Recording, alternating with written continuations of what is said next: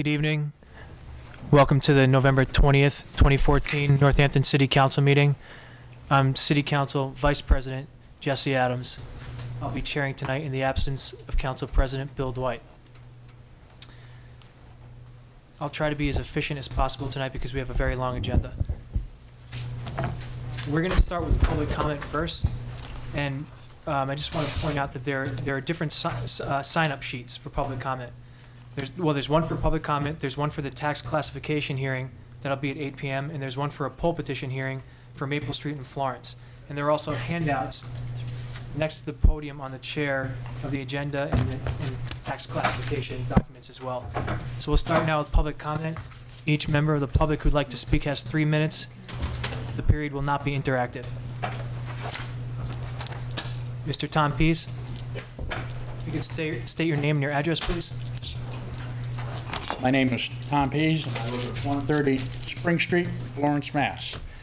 I am presently the commander at the VFW Post 8006 in beautiful downtown Florence. Uh, This evening, I'm here on behalf of the Post.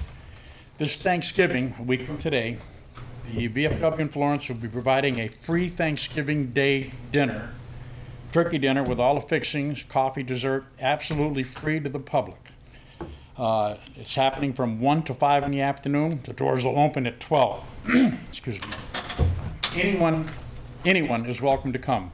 Homeless, if you're a veteran, uh, you just want some company, uh, you can't afford a meal, whatever, but anyone in the community is welcome to come and join us from 1 to 5 next Thursday afternoon, Thanksgiving Day. Um, We would appreciate an RSVP at the telephone number would be 584-8006 by Monday, Tuesday at the latest, but we'd like it on Monday, November the 24th. Um, Again, uh, anyone is welcome to come. Please come and join us. It's the first time we've done this, and we're, we just want to give back to the community. And at this time, I'd like to give a special thanks out to my staff who have, uh, they headed this up. They came up with this idea themselves, especially our steward, adjutant, and our executive chef, Kathy Silva, and all of her volunteers. They're doing all of this. They've run around town. They've gotten a lot of donations from a lot of people. So again, anyone is welcome to come and join us next Thursday from 1 to 5. Again, that phone number is 584-8006. And just leave your name and how many people, and it's on us. Thank you, Thank Mr. you. Pease. Attorney Bill Newman?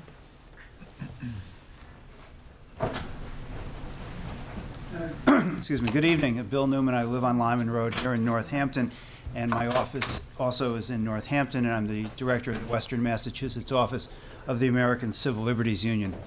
I've come to the council tonight because there will be, I understand, introduced to this meeting a resolution supporting the executive policy order on police procedures that was initiated and put into effect by Mayor Narkewicz. There are three pieces at the beginning I'd like to especially bring to your attention, and two at the end.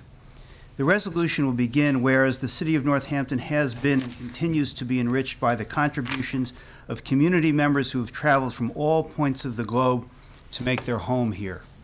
And whereas Northampton, Northampton is a welcoming city, it seeks to ensure public safety and trust between law enforcement and all members of the community.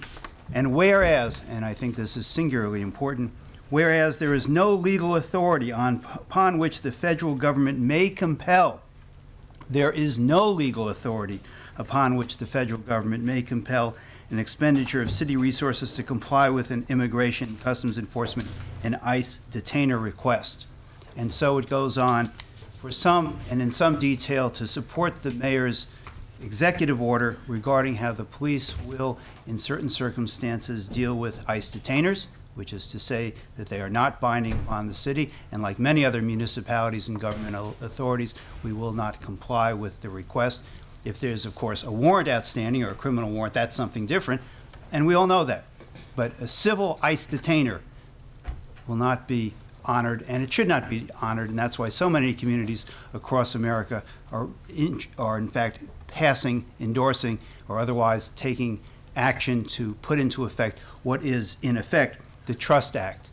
It re- ends resolved that the City Council, the Northampton City Council resolutely supports the spirit and intent of the executive policy order, and resolve further that the Northampton City Council will use its authority to assure these protections are applied consistently and fairly. I think it is important that the Northampton City Council use its voice as a legislative body and as representatives of the community to say, we stand behind this resolution. We stand with the communities who have come to Northampton, who call Northampton home. We are going to be a welcoming community. We are going to have a community in which there is communication and cooperation between the police department, law enforcement, and all members of the community. This resolution says that the city council stands behind this in its spirit and its intent, and it will use its authority to make sure that it comes to fruition. I urge passage and adoption of this resolution. Thank you very much. Thank you. Mr. Jim Nash?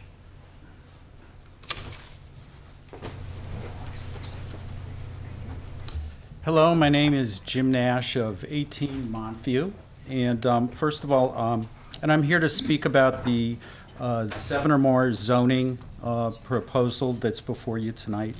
Um, First, I'd like to thank all of the counselors here tonight. We've all talked about, you've all spent time talking with me about this particular issue. Um, And that, um, and that you know, I, I can see a lot of uh, the, the public input reflected in the, the, the proposal that's on the table. I, but I am here tonight to just say that I'm feeling a little glum. And the reason being that my neighborhood, more so than just about any neighborhood in town that I can think of, will be greatly impacted by the new density within this zoning. There are 10 properties that will be falling under seven or more for, down in my neighborhood. I mean, so 10 times seven, even if it's just at seven, we're talking 70, possibility of 70 new units.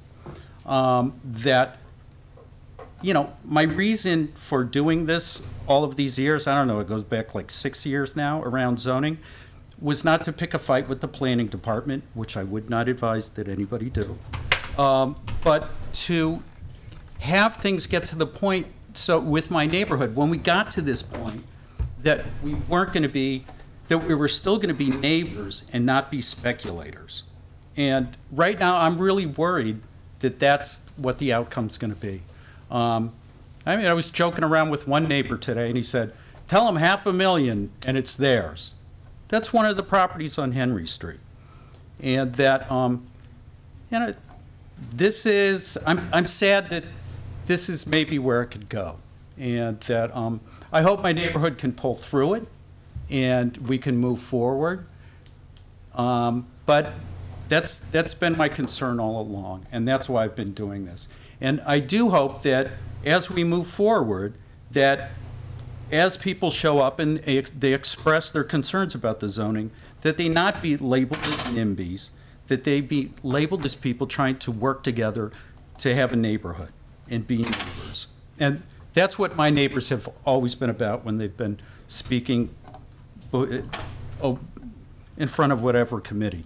So, um, thanks, and, um, Thank you. Is there anybody else who would like to speak at public comment? Mr. Martin? You look pretty nice up there. Hi, good evening, ladies and gentlemen, City Council. Hi, ladies and gentlemen the audience, ladies and gentlemen at home. My name is Roy C. Martin, 81 Conz Street, Northampton, Mass. You know, uh, a few things was hitting me today. I I was reading the newspaper today, and uh, I, you know, I know that the bid got turned down and everything, and uh, you know, we're all in a quandrum about the whole thing and what's going to happen with our our lights for Christmas and stuff like that. Well, I'm I'm looking at the whole thing like, uh, you know, well, let's have some meetings and let's go ahead and let's start doing some stuff. Then I read all of a sudden in the paper that the mayor's going to have some meetings, and uh, Eric Suher and the other people that was against the bid all of a sudden wasn't invited to the meetings. I, I just don't understand that. I think uh, Clare Higgins did this one time and had some meetings, and uh, some people were shut out. And all of a sudden, they got hit with a violation of the open meeting law. Uh, you know, right? I'm pretty sure that all the meetings that have to do with any kind of business like that should be open, right, for everyone to come to and everyone to join into. Now, I think if we all, as a city, right, Eric Suher is willing to do his part, the rest of the people in the city are willing to do their part. I think if we all work together, right, and we get one common cause here, right, we can have Christmas lights, we can have fireworks, we can have anything we want. Almost said it. But, uh, uh, you know, that's what we have to do, and we all have to work together, right? You know, if you need a leader, well, you can find a leader, right? There's a leader out there. There's someone that can lead everything and put things together. And, uh, you know, honor court wasn't so bad. After all, it helped a whole lot of people. I, I, I've been in Springfield, I've been in Hartford, Connecticut. People down there, right, they came up here, went to honor court. Eh, People that were locked up went to honor court, and they're doing good now. They're doing real good jobs and everything. So, uh, you know, honor court wasn't bad. Uh, yeah, they had some gruff ways and some gruff leaders, but hey, right. But Billy Nagel wasn't bad, right? Uh, he was a good guy. You know, I remember him well. And, uh, uh, you know, I think that if we had something like that, right, where people were volunteering, right, maybe even a work release program from the jail, where the guys come down and they volunteer their time or something, they get some extra credit or something, you know, I think we can keep the city clean. I think we can keep things done, and uh, you know, I think with the city's help and everything, everything can get done. It has to be done down in the business part of town as well as the rest of town. Uh, you know, that that's my thought on the whole thing. Uh, I can't see why we're feuding, all right? One bunch of people against another bunch of people. One, you know, uh, these people all have money, they all have reason, and they ha- all have a good reason, right? We're in it all together.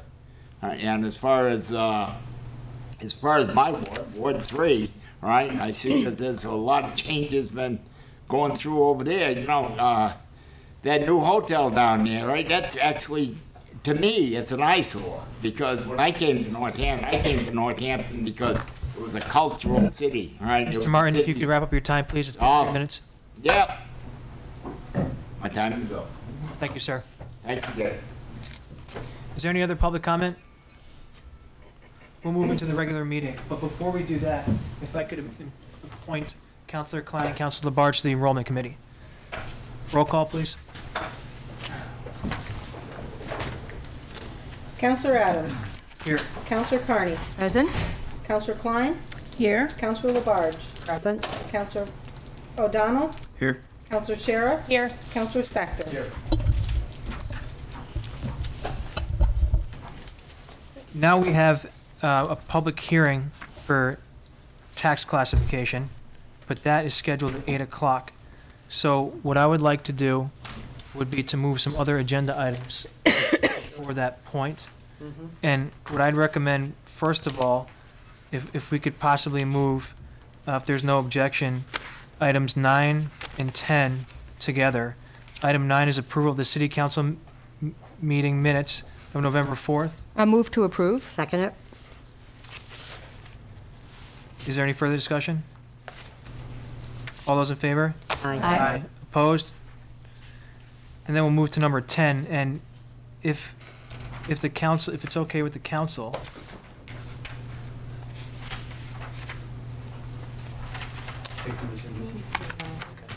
um, if, if we could just do number 10, uh, the the additional minutes, the reports of committees, that'll include the September 22nd meeting on committee, the Committee on Rules, Orders, Appointments, and Ordinances, the meeting, uh, the the meeting minutes of the special joint city council and school committee meeting on October 9th, and the minutes from October 15th public hearing on vibrant sidewalks, the minutes from the October 20th, 2014 meeting of Committee on Social Services, Veterans, Culture, and Recreation, and the minutes of the November 6th, 2014 Finance Committee meeting.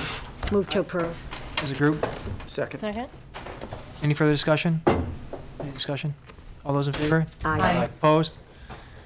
Now, if we could go back, and we have a, a public hearing regarding a National Grid pole petition for a location on Maple Street, Florence.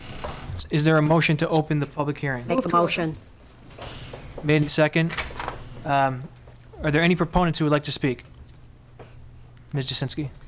Yes, good evening, Lisa Jasinski with National Grid.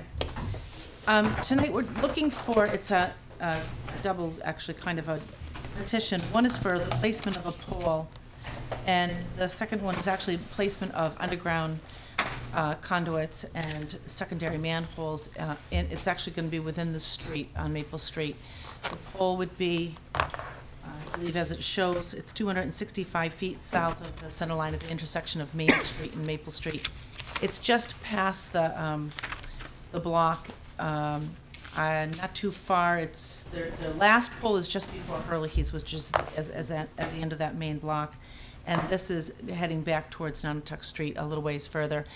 We're, we're trying to bring three-phase power to the new building that's going up in the corner of Maple and Main, and there is, there really isn't a great way to bring it, and this was a resolution for us, you know, to, to install this pole.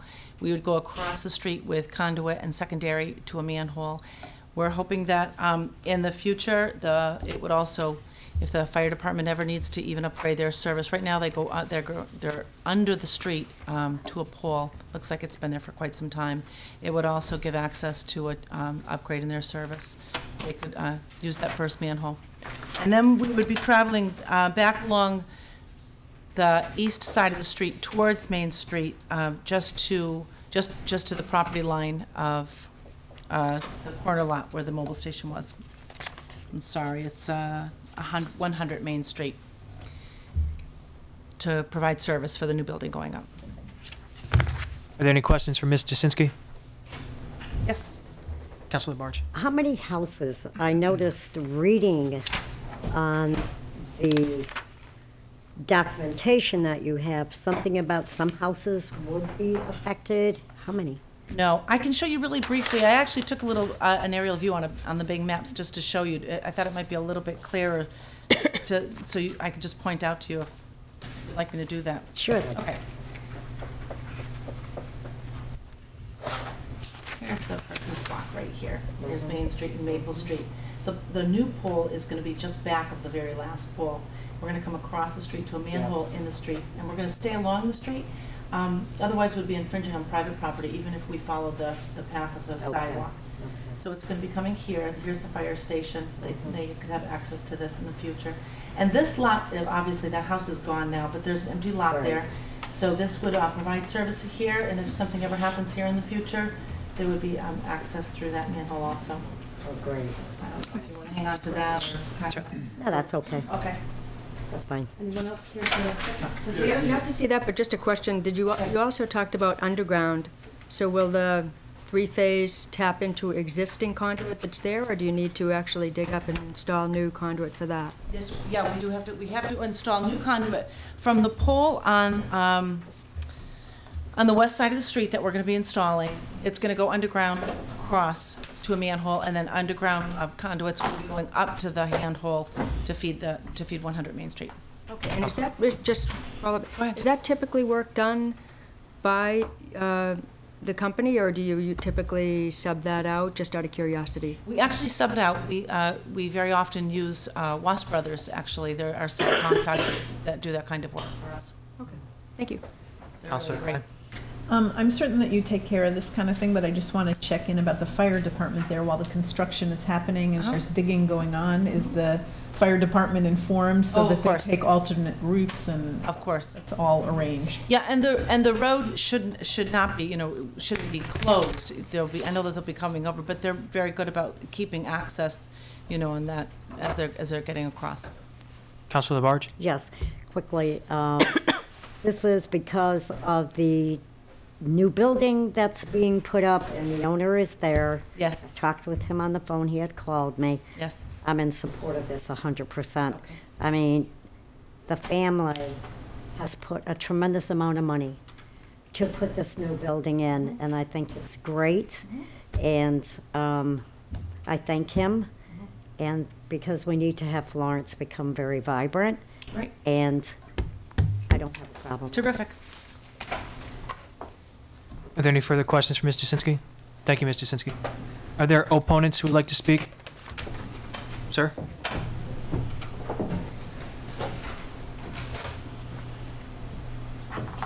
Good evening.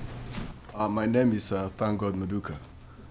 I own the property on 72 Maple Street and the next lot by it, uh, which is 74 Maple Street. Um, I don't quite understand what they are planning to do, how that will impact my property. Currently, uh, there is a, a huge transformer type thing that's actually uh, in front of my bedroom. And the impact of the electromagnetism that is generated by that transformer, uh, I, nobody knows. There is so much on the news today concerning the impact of those kind of uh, things to the brain. And now they are talking about a new pole and I don't know what it means. And that pole, the way I see it, is going to be in front of my lot, which I do have intention to develop that lot in the future. And from the uh, markings I saw on the ground, which when I saw that markings, I went to DPW to find out what is going on. And they alerted me to the fact that the, the electric company is trying to do some work. So before I got the notice to attend this hearing, now uh, it, it appears that they do intend to extend into my property. And I don't think that is acceptable for them to utilize my property without even uh, my without consulting me or asking me if they could do that. So the whole process, as I see it, is infringing on my property. And again, I don't know, they're talking about underground, um, whatever they're going to do underground. I, I'm not an electrician, I'm not an electrical engineer, so I don't really understand. She needs to explain in details for somebody like me to understand the impact of what they are trying to do on those of us who live there, who own our property there, and also what will be the future impact in terms of developing my property. 100% in support of my friend there who is developing 100 Main Street. I have nothing against that, that process, but I am concerned about the impact of this electrical improvement, what it's going to do to my property and to my health. And I need that explanation. Thank you. Mr. Sinsky, would you like to Yes. I would, if you'd like to, could you, could you just take, I'd like to just show you something on the map. Okay. I know it's, it might not be very clear, but here's the block, okay, here's Main Street, and here's, here's Maple Street. Mm-hmm. And there's, there are poles that are coming down here already. Is this your, is this your property just beyond, just beyond the block, heading, this is heading towards Nonotuck Street? Okay? So is this empty mm, mm, spot your? That, uh, that lot, there's an empty lot there with fence. I own that property, and this is my house here. Okay, And you do have a transformer. Yes. Here, very huge. Uh, And there on- was a, on the there was, yes, on the pole. Mm-hmm. There was a time when that transformer exploded a while ago. Mm-hmm. Okay. And I don't, there is so much, you as an electric company know mm-hmm. the impact of electromagnetism on the brain. There is so much study on, it's not yet clear what the impact is. And people keep saying, oh, there is no uh, clear evidence.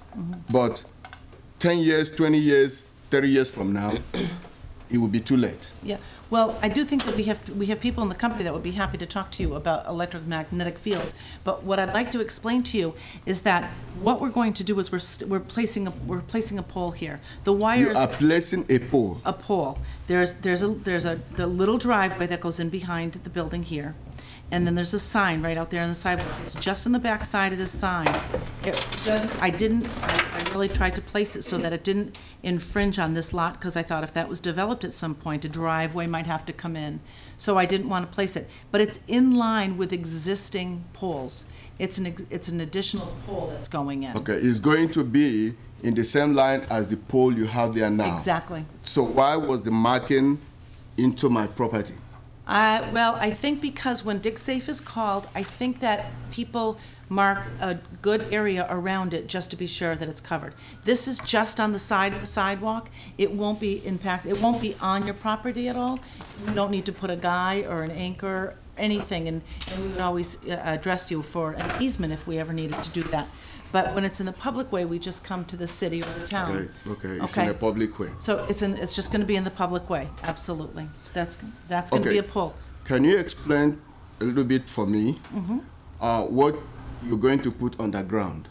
Yes, from this pole, they're gonna put, there's gonna be uh, a pipe that's gonna go all the way down the pole. It's gonna come all the way down to the pole and it's gonna go underground. And then it's gonna feed across the street here. Here's the fire station. Mm-hmm. There's gonna be a manhole. It's actually gonna sit in the road. It, it actually can withstand the, with the weight of traffic. Mm-hmm. And the secondaries are gonna come from the pole across the street and up this street, uh, uh, up along the street inside, you know, inside the, um, in, under the road, actually not in the sidewalk, to feed the, you know, the building on the corner.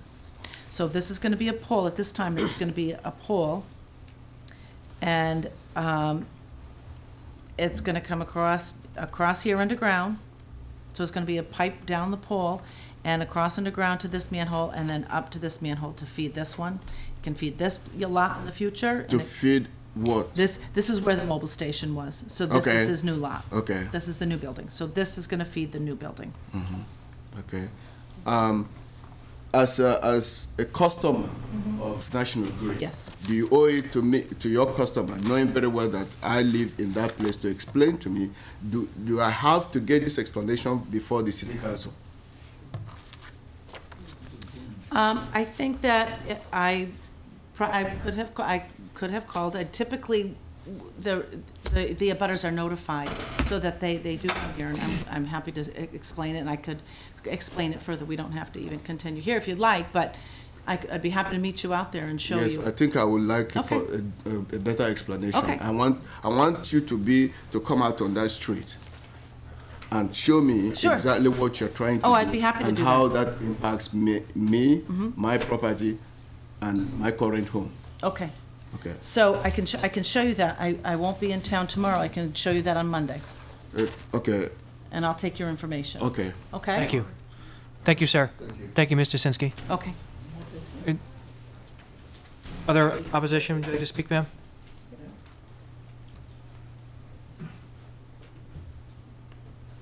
I'm actually coming out to have something in record that I did come out and launched a complaint.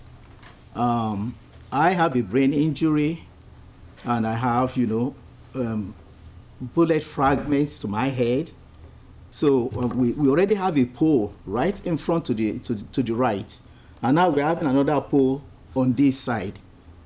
Is there no possibility of you guys finding a different place to place a second pole?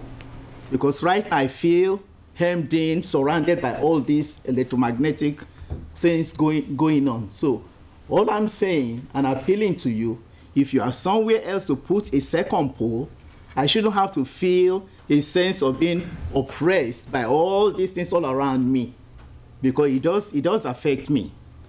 Um, by the way, I'm Dr. Julie Maduka. So um, I'm just appealing to you. If there's any other place you guys can put the pole, I think that would be well and good. So I'm putting this in record that I did get up to launch a complaint and tell you guys the kind of medical issues I have. So thank you. Thank you. Thank you. Is there a motion to close the public hearing? So moved.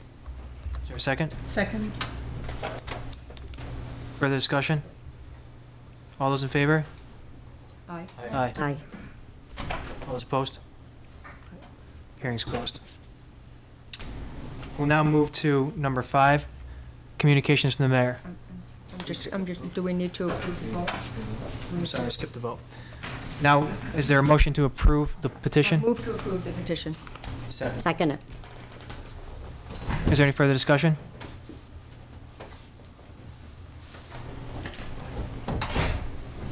All those in favor? Aye. Aye. Opposed? Now we'll move to number five. Are there any communications from the mayor?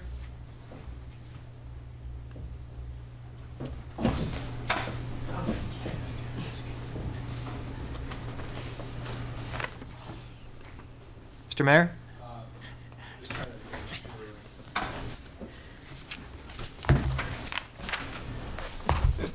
Thank you, Mr. Vice President. Sorry about the delay. Uh, uh, Just, I did want to um, just briefly update the council. Uh, You may have heard that the governor has announced some mid-year uh, budget cuts in order to, um, in order to address the state's uh, budget, uh, mid-year budget shortfall. Um, Initially, the proposal that the governor had put forward were cuts um, equivalent to about a 2.7% cut in our un- unrestricted general government aid accounts, which for Northampton would have been about, uh, would have been exactly $105,452. So that would mean at this point, five months into the budget year, we would have to figure out a way to adjust our budget to absorb that. Luckily, uh, the Speaker of the House uh, announced today that that will, that the legislature will not allow that to happen. They, the governor, in order to make um, cuts in those UGA accounts, UGGA accounts, does need the permission of the legislature to do that, and the legislature has already indicated that they will not bring that up in this session, um, which effectively eliminates it. That still does leave some mid-year budget cuts, and I'll just give you a quick summary.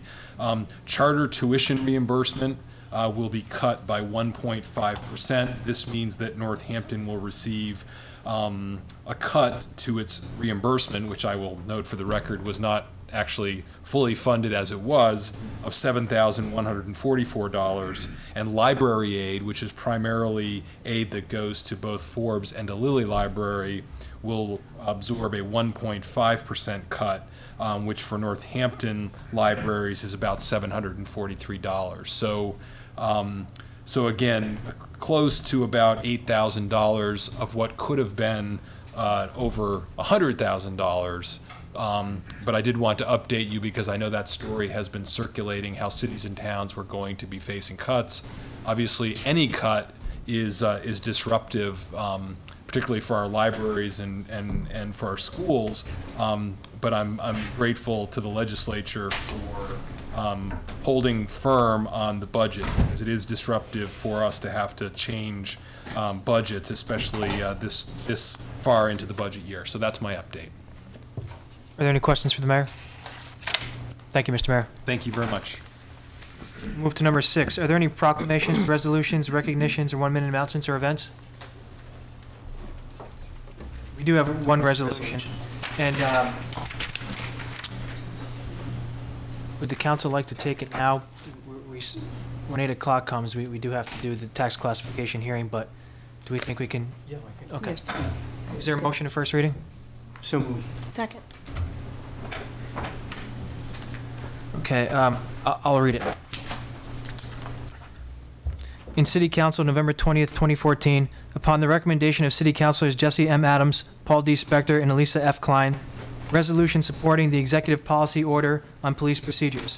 Whereas the Northampton, the City of Northampton has been and continues to be enriched by the contributions of community members who have traveled from all points of the globe to make their homes here, and Whereas Northampton is a welcoming city, welcoming city that seeks to ensure public safety and trust between law enforcement and all members of our- community, and whereas there is no legal authority, authority upon which the federal government may compel an expenditure of city resources to comply with an immigration and customs enforcement detainer request, and whereas Transparency and Responsibility Using State Tools or Trust Act, versions of which are pending before state and federal legislatures aim to keep immigrants who pose no risk to society safe in their communities and with their families while also promoting trust between the immigrant community and local law enforcement.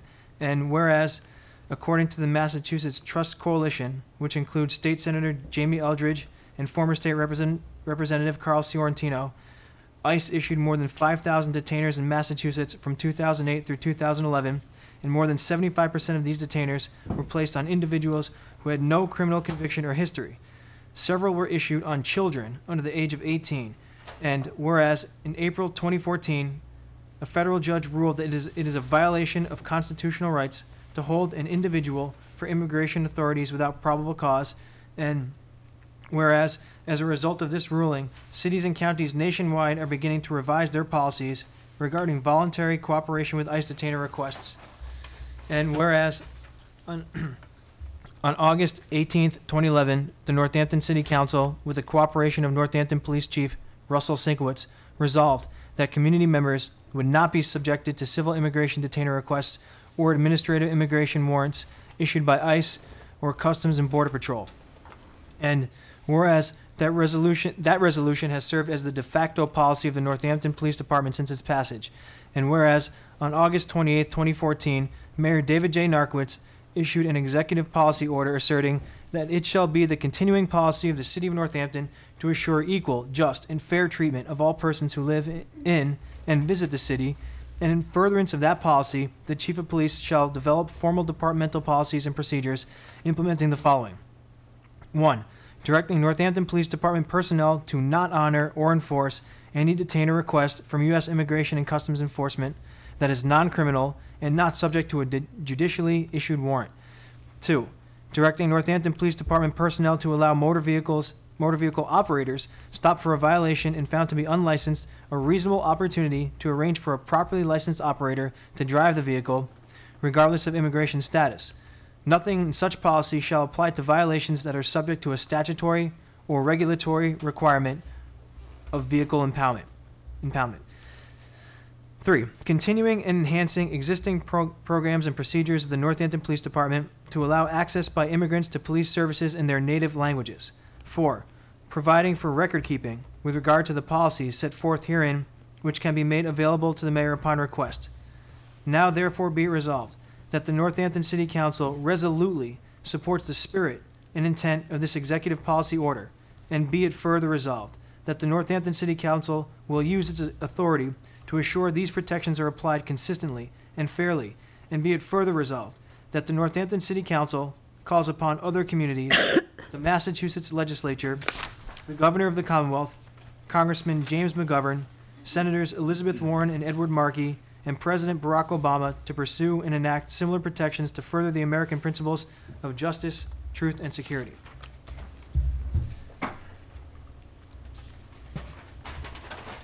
Councilor Spector. Kind of ironic, but in about, I think it's 20 minutes, the president is going to make an address to the nation where he's addressing these very concerns and redirecting the Immigration Services and Homeland Security to redirect their efforts only towards criminal uh, activities and immigrants and to essentially do exactly what's, what's here. Uh, It's interesting it's going to happen right after this. I guess the president will listen to us and immediately change policies. But it's, it- we didn't, just so folks know, this is, uh, it's kind of ironic or serendipitous, but it's it's actually purely a coincidence because this has been in the works for a long time, and that we're talking about it just a few minutes before the president is going to make a speech, which will even more forcefully uh, affect people than this particular resolution. But I'm, I'm proud of this city for leading the way, um, as it always does, on issues of civil rights and human rights, and I, I hope we'll support this unanimously.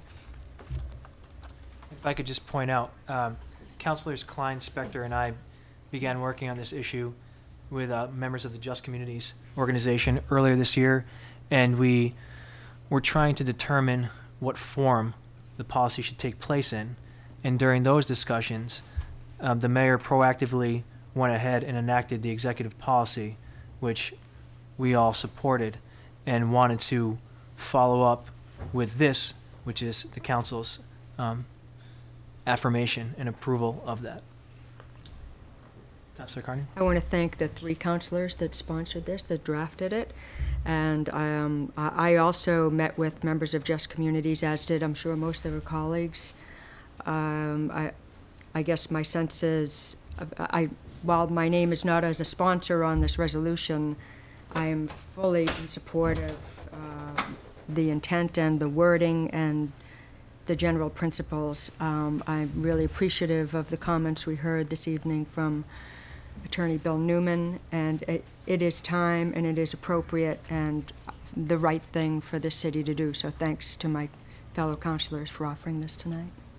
Thank you. Is there- Councilor Labarge? Yes, um, I also want to echo what Councilor Carney had just stated. I want to thank the three councilors for putting this resolution in place.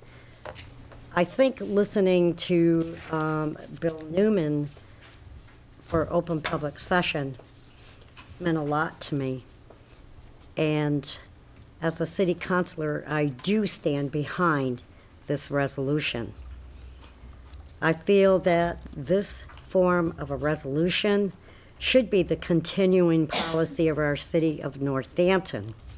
It assures equal and fair treatment of all persons living in our city and people who visit our city. So I do support the intent of this executive policy. Is there any other comment from councilors?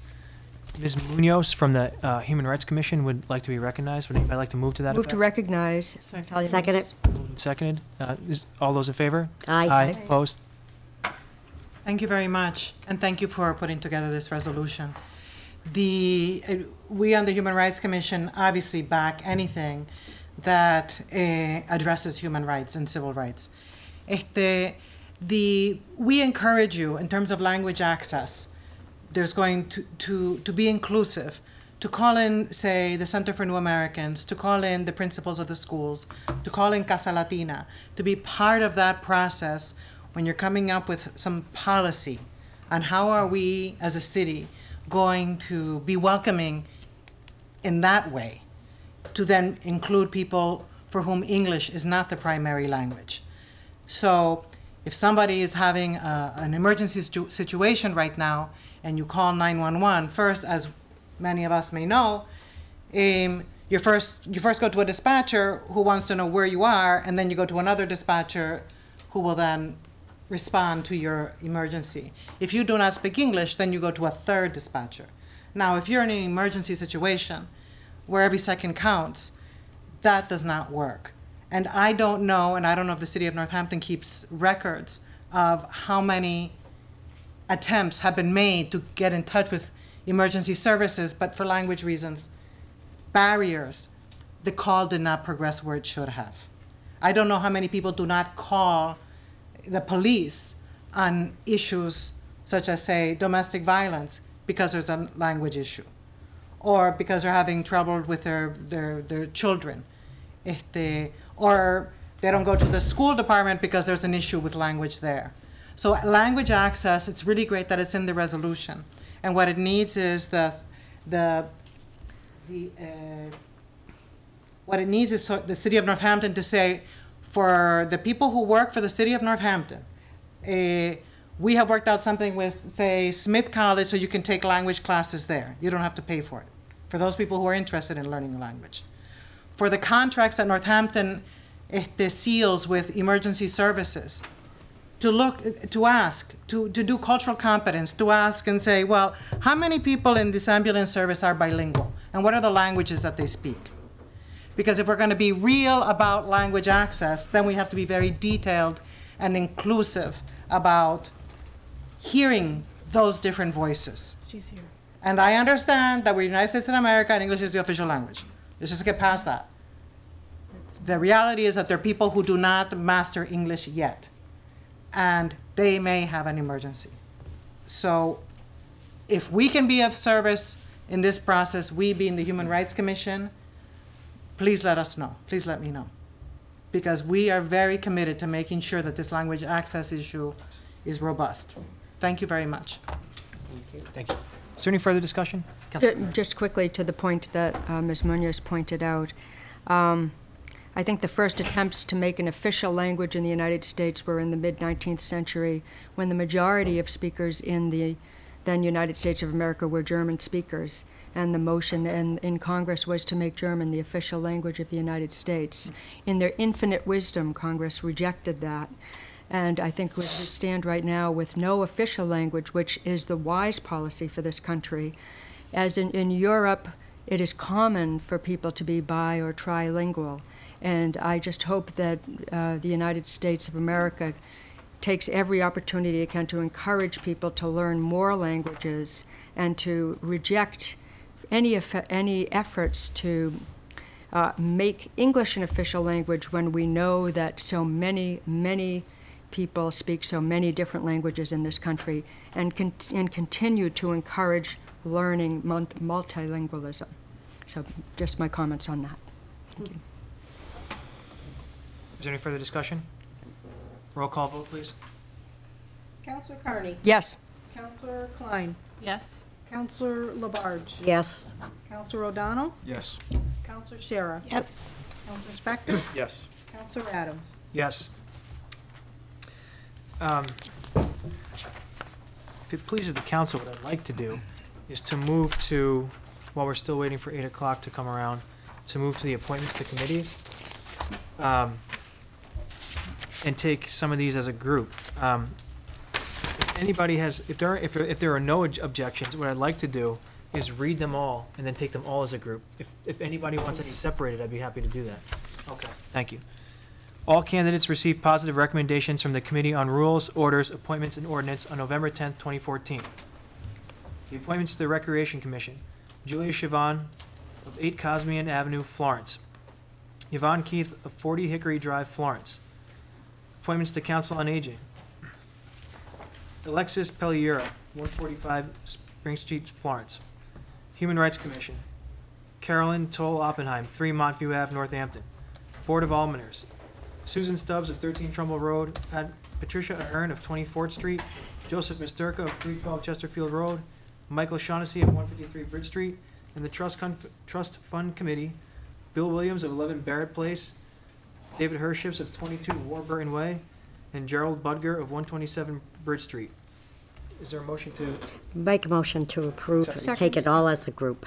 is there Second, any as a group. discussion? Is there any discussion on, on any of these appointments? Uh, No. Correction, just to pronounce uh, Ms. Julia Chevin, please. Chevin, thank you. I just want to speak um, in support of two of these folks who I know personally and think are really extraordinary. I think that uh, the Recreation Commission will be very, very lucky to have Julia Chevin as uh, as a member, and Alexis Pelura, um, who is, uh, excuse me, a resident of Florence, who I know well, who um, will be wonderful on the Council on Aging. Councilor Barge? Yes, I also wanted to talk about Alexis. I've heard so much from her, from um, many seniors at the senior center, of how she was very, very active down there. So I'm very pleased about her going on to the um, Council on Aging Board. My question is that I'd like to know from the counselors, somebody speak from appointments.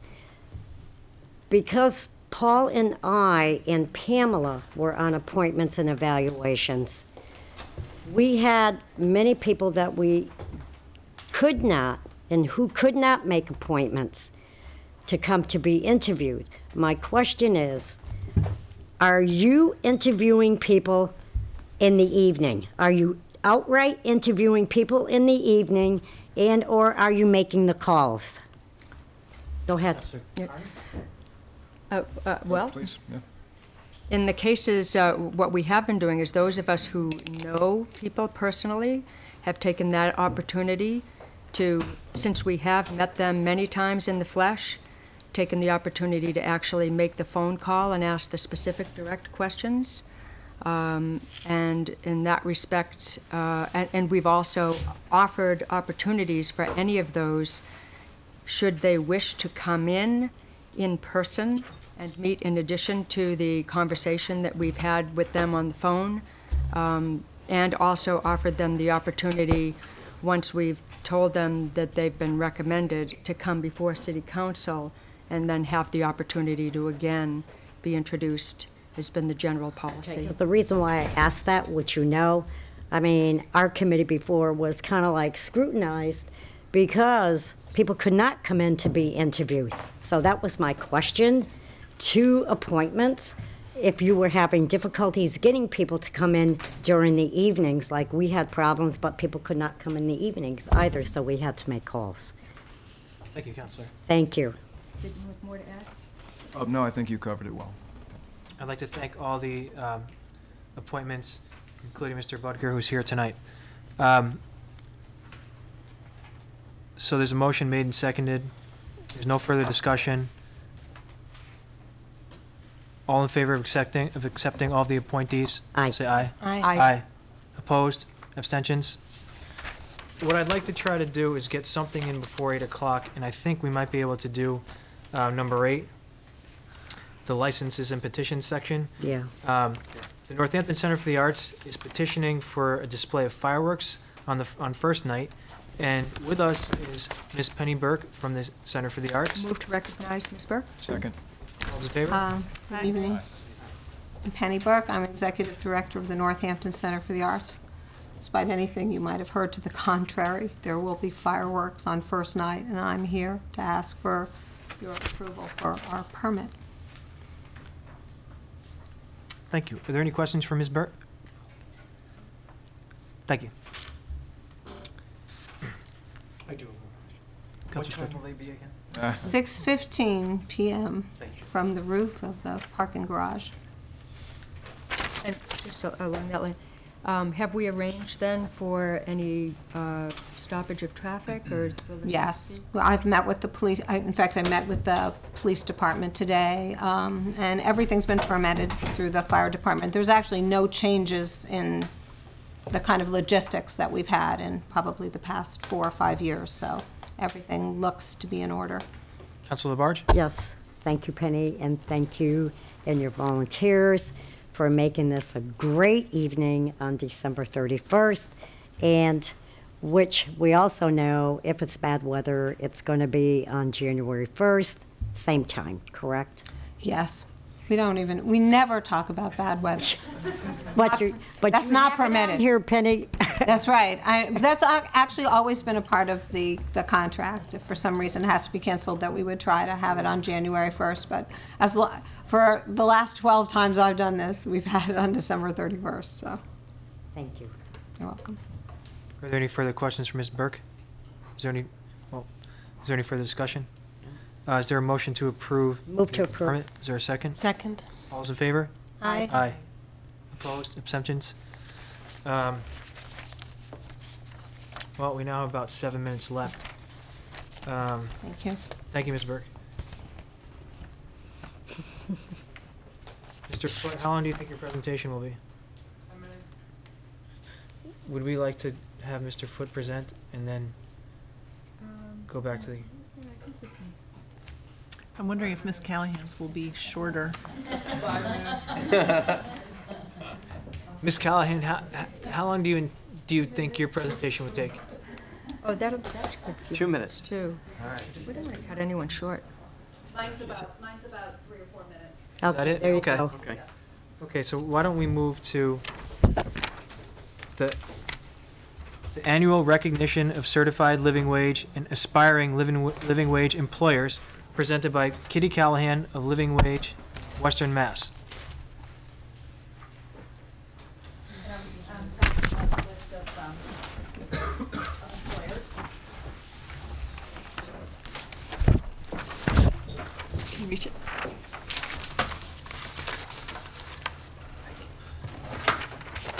Thank you. On, on behalf of um, Living Wage Western Mass, um, I'm very honored to have the, the city council honoring um, our certified um, living wage and aspiring employers for 2014 so far.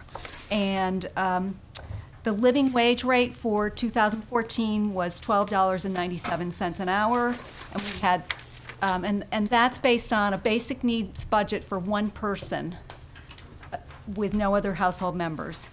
Um, we had 38, we so far have 38 employers who are paying all of their employees at least $12.97 an hour, and we have six employers who are working. They are aspiring and working towards paying a living wage. Um, I want to briefly say that um, this year, for the first time, we have started certifying employers throughout Western Mass. And um, the living wage rate for that, for, for that category of employers is $11.98 an hour due to lower housing costs. Um, And next year, we will start certifying employers in Amherst, which have even higher housing costs than um, Northampton, and we're still working on calculating that, that level. Um, So, but in Western Mass, so far, we have eight employers, seven who are paying at least a living wage, and one who is aspiring to pay a living wage. So let me get down to the announcement of the certified employers. Alcraft Facial Plastic Surgery, the Berkshire De- Design Group, Burrow Weiss Mints and Lipiello LLP, Center for New Americans, Chamber Advisory Board, Collective Copies, Community Legal Aid, DeLong Construction, Edwards Church, Etheridge and Stoyer First Churches of Northampton, Fly By Night, Gazebo, Indigo Coffee, the Jam Grub, Grub Group, Jekanowski and O'Neill, Law Office of Jesse Adams, Lesser Newman and Nasser, the Literacy Project, Market Street Research, the Media Education Foundation, Minuteman Pest Control, National Priorities Project, Nonotuck Resources Associates, Northampton Area Pediatrics, Northampton Community, Community Music Center, Northampton Friends Meeting, Northampton Housing Authority, and Northampton Survival Center, Ostrander Law Office, Richards Plumbing and Heating, Unitarian Society of Northampton Florence, United Way of Hampshire County, Valley Home Improvement, Valley Community Development Corporation, Valen Medi Spa, Weber and Grinnell Insurance Agency, Wall Family Dentistry, and then, and then um, our aspiring employers for 2014 are Barton's Angels, City of Northampton, Community Action, Raven Used Books, River Valley Market, and Safe Passage. Thank you. Just a question. Do employers or business owners come forward to you, or do you go out and try and contact all of them? How does it work in terms of Um, some- knowing about it and getting in touch with you? Mostly, mostly we do outreach. We do get some who are approaching us, but mostly it's, it's outreach that we do. Okay, thank you. Councilor O'Donnell. I was just wondering, um, you have a living wage rate for the city of Northampton, and then you mentioned another lower one. What, what geographic area does that rate? Well, that's actually the the rest of Western Mass, of except for Amherst, which we're gonna have a higher rate because their housing costs are, are higher than Northampton. Thank you. And just one more, sure, some of your calculations are based on the work done by the Women's, am I correct? That's out correct. The Crittenton Women's Union? Right, a- and it's ba, it's actually based on, um, they did a calculation that we used when the resolution was passed in 2010. Yes. We're actually using that same calculation because of the fact that they, they started downgrading their numbers after that, shortly after that, and, and, and so we've been doing, in, increasing that amount by the Consumer Price Index based on the resolution since then. Thank you. Councilor Labarge. Yes. Kitty, I want to thank you and thank all your volunteers and the people who are involved doing such a tremendous job on the researching of getting out there and letting people know how important it is that they come forth and look at that living wage. And um, I think this is great, and I do remember of that resolution in 2010. I was here. Everybody was Yeah. very, very pleased about that resolution. Yes, yes. And I think the one thing I forgot to say was that we hope that people will um, look at this list and make it a priority to support the, um, the certified employers on this list. One more Councilor. Carney. Um, just along those same lines, at one point, we did have a little sticker or a- some sort of logo that an employer could play, a placard to put in the window, or has that, st- is that still in place, or is that?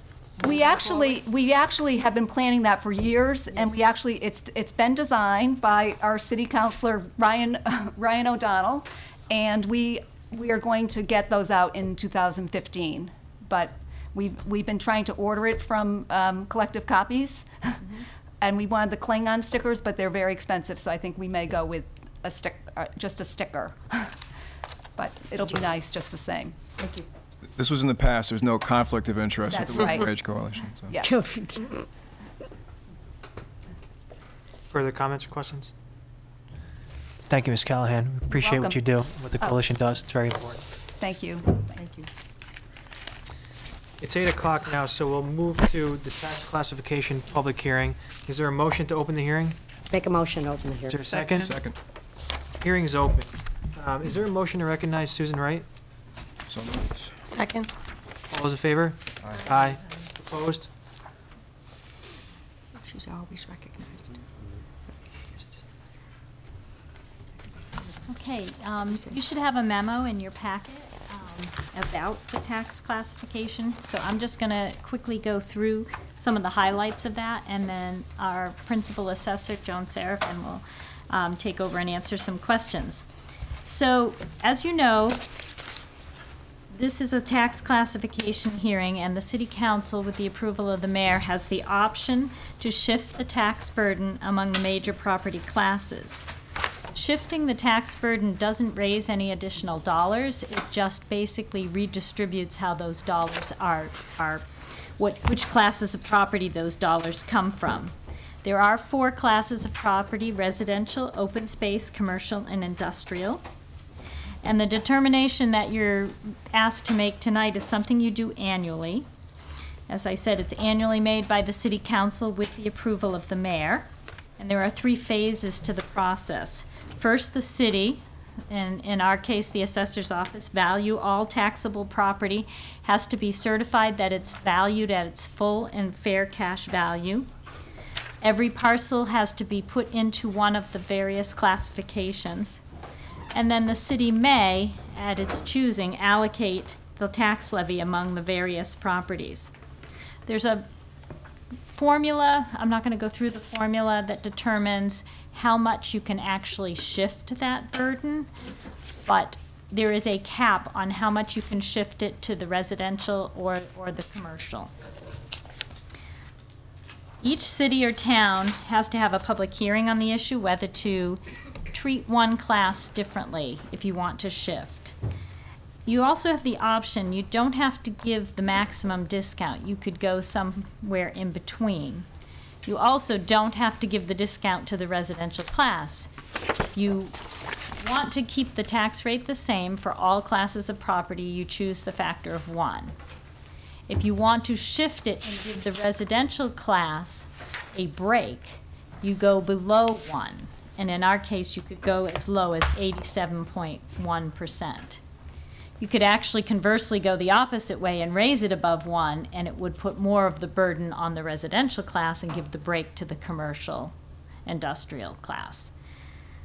If you look in the end of the memo, uh, we show you a bunch of scenarios if you were to shift. And Joan will talk about what the tax rate looks like. Um, on this, it's 1581. I think it's a penny difference right now. If you were to shift 10%, in other words, choose the residential factor of 97.42, the tax rate for residential would drop from 1581 to 1540, and it would rise for commercial, industrial, and personal property to 1739. And this chart, that's sideways and upside down. It's getting there. Um, If you go to the extreme, where you could shift as much as 50%, the tax rate for residential property would go from 1581 down to 1377, but it would rise for commercial properties to $23. To give you some idea of the effect on the various businesses, we included a number of businesses, large and small, local and national, in the list to give you an idea of how much more it, they would pay. So I'm just going to choose um, State Street Fruit Store, which is kind of in the middle of the list, a local business. If you were to choose to keep the taxes, if you were to choose a shift of 10%, their taxes would increase $2,216. If you were to choose the maximum shift, their taxes would increase by $11,000. So that's the decision before you, uh, whether you want to do that or not. Um, And I'm going to let Joan add anything she would like to add at this point. Is there a motion to recognize Ms. Seraphin? Make a motion. Second. Seconded. Is there, all in favor? Aye. Aye. Aye, opposed?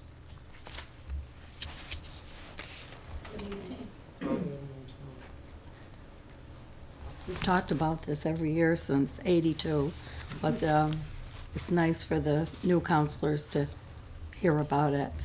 If I can, um, if I can help you understand it in any way, maybe you have questions for me. Um, uh, it- With all the new construction, the um, percentage that the residential pay is 80% which is kind of surprising, but we had a lot of residential, uh, residential permits. And then also the commercial pays twenty percent of the total tax. So that's quite a difference, eighty percent to twenty, but that's what it's been for several years. Um, we were able to raise nine hundred and eighty um, thousand in new growth, which is a tremendous amount of new growth. But we did have um, many, many permits and large ones. The new uh, dealers, the new medical buildings, um, the new houses that we had up on Village Hill. So um, we probably had 14 or 1,500 permits to do. And the 980,000, I was hoping to hit a million, but I couldn't make it, just couldn't make it. That, that's construction, new construction that you could, you can count to raise your levy. Because they're figuring that you need more police and you need more firemen and you need a lot of extra things for the new people coming in. Um, And Susan gave you a nice um, sheet to show the different, oh, the most important thing, the tax rate's going to be 1580. That's a 41% increase. Forty-one cent. Excuse me? You said percent, forty-one percent. Oh. No, it's four- forty-one cent. Fifteen, it's a, oh gosh, I'd have to leave the country. Cent. So that's a, that's really a small increase compared to what we've had for the last few years. And um, you start, you start with your levy, and then you figure your um, two and a half, which is about a million two. And then for our overrides, it's a million three. And then our new growth, nine hundred and eighty thousand. So we'll be raising about fifty-one and a half million dollars from the tax rate. Counselor Carney. Okay.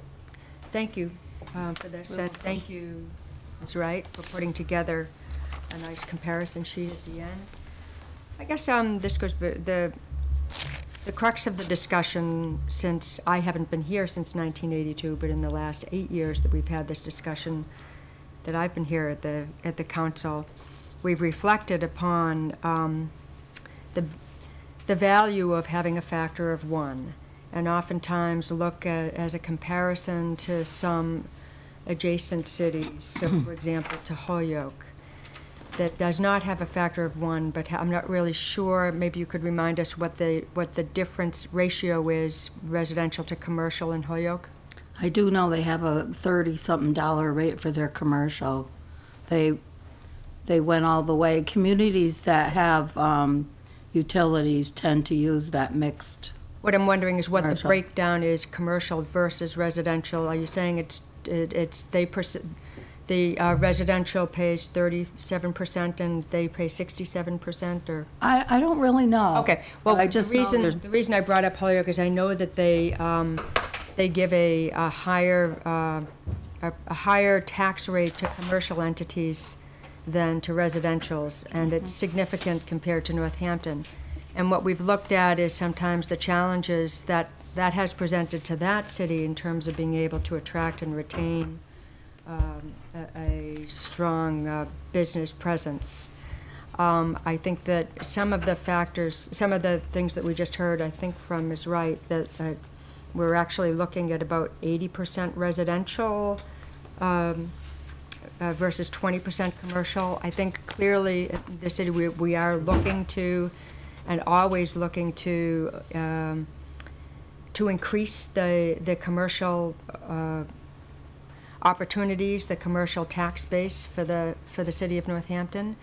And obviously, one way to do that is to, to make it more attractive to businesses to locate in Northampton, is to have something like the factor of one that that makes you know their tax burden um, uh, not something. It, it basically makes it a more attractive place to, to locate because of the of the factor of one.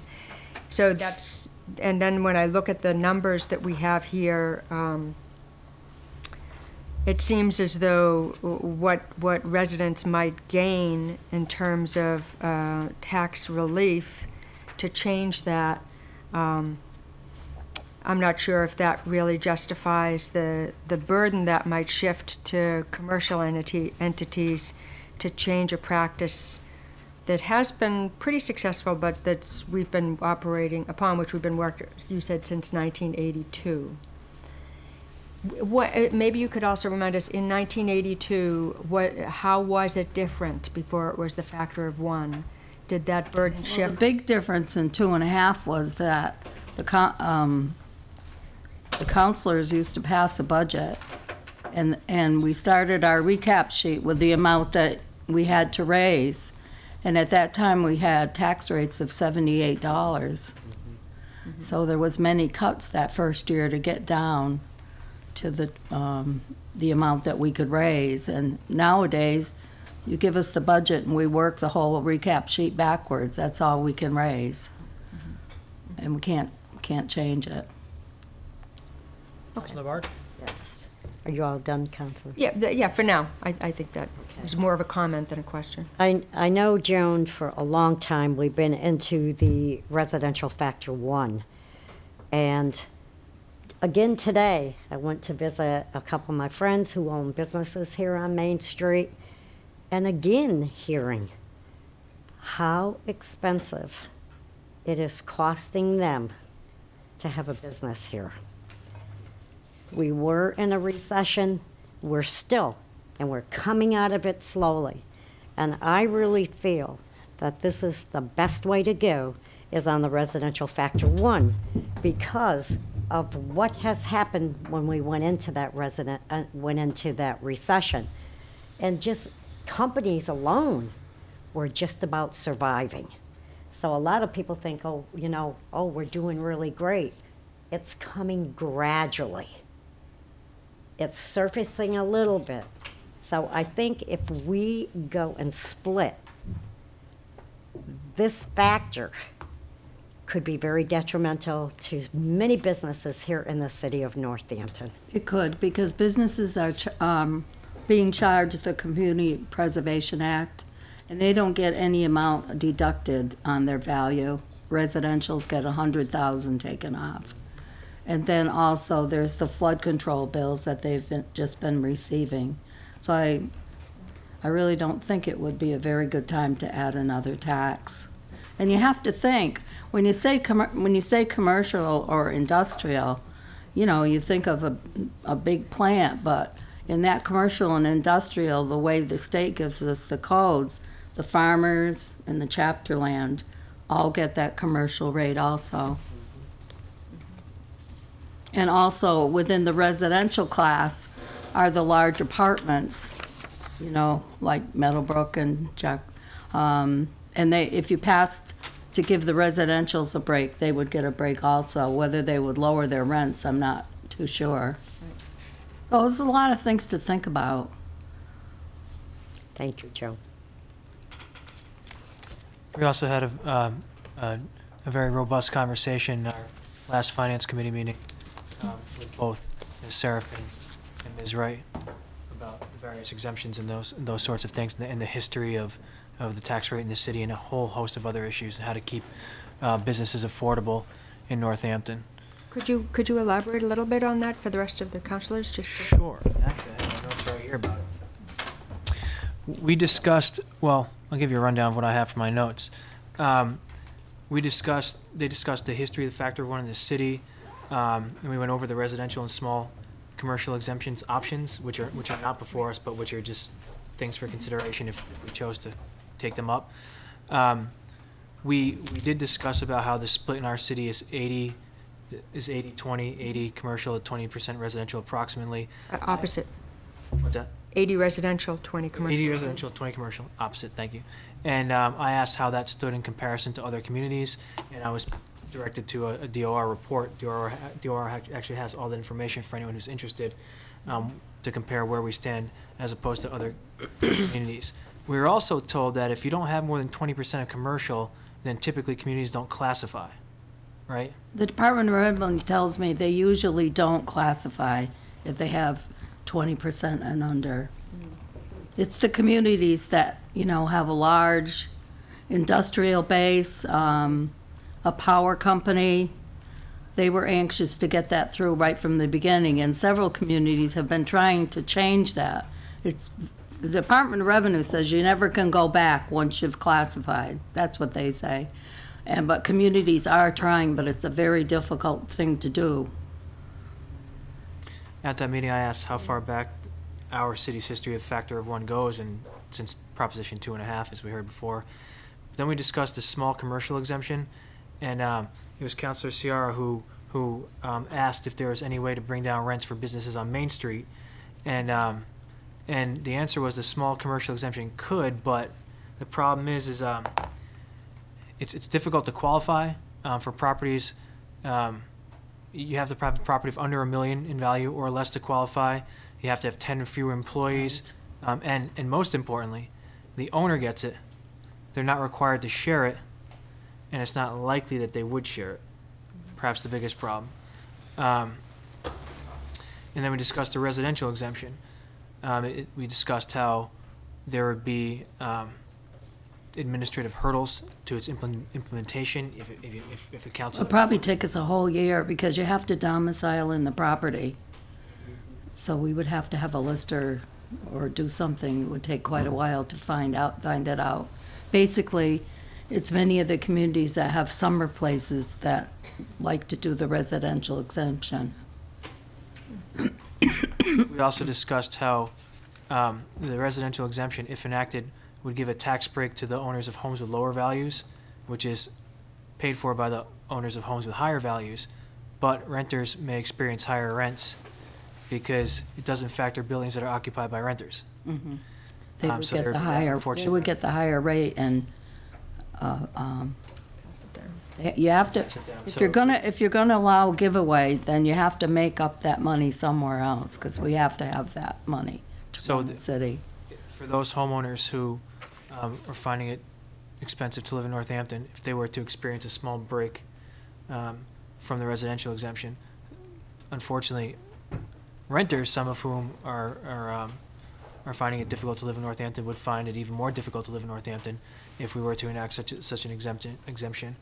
And, um, and then we, and then that was, that was basically the gist of our conversation. Those are some of the things we discussed. We discussed the new growth that we experienced in the city. Thank you. If any, of- any of you would like to talk to me at any time, or you think of additional questions, just stop by the office. We have a real nice office now. Are there any further questions for Ms. Seraphin or Ms. Wright? Okay, thank you. Thank you. Is there a Thank you, motion- Joe. Is there a motion to close the hearing? Make a motion. Is there a second? You may have other, peop- you may have other people who wish to speak. Thank you, Your Honor. Uh, If I could, if we could hold off on, on that motion. Is there any member, are there any members of the public who would like to speak to the tax classification public hearing? Ms. Beck, is there a motion? You can, this is a Oh, public. No, hearing, she so- can speak to it.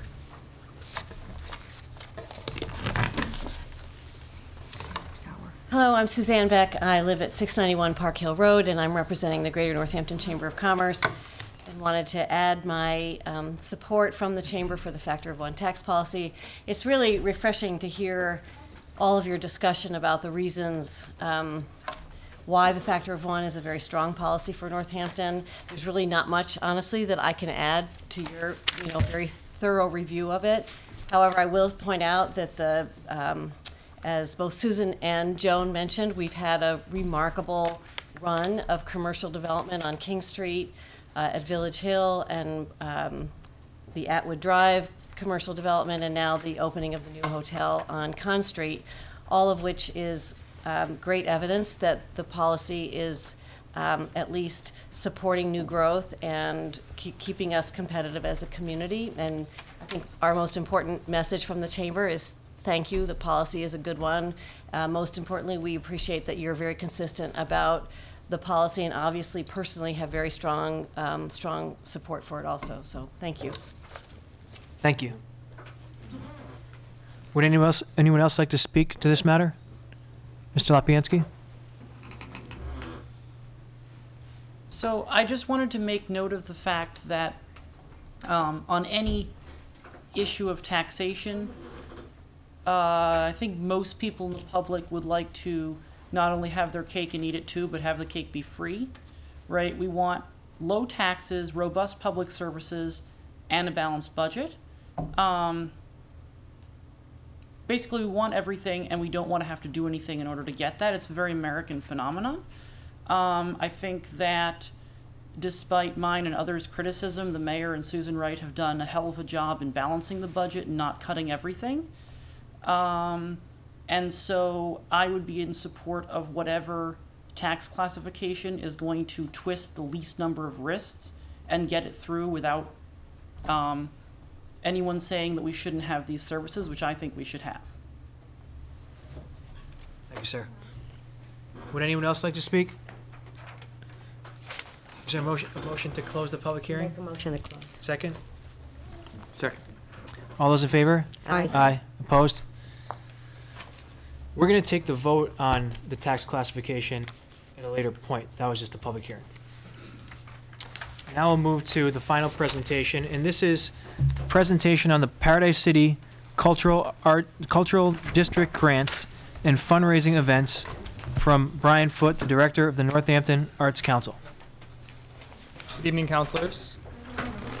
Thanks for having me here tonight. I just wanted to come here to create, awareness of the Northampton Arts Council and what we do in our city. I'll try to keep it brief because I know you have a long agenda this evening, but uh, I don't know if you guys know what we do, but we're, we support and foster the arts in Northampton, Florence, and Leeds. We do it by a number of things, and just gonna do a quick uh, overview. Mostly it's by programming between events in our city between, we do about fifty to one hundred thousand dollars of programming every year in our city. We give away about eighteen thousand dollars a year in direct arts grants, and we directly donate uh, seven to nine thousand dollars to provide arts enrichment to public schools every year. So some things we do are two funding cycles, spring and fall, to arts, artists, arts uh, groups, and public schools for artistic endeavors.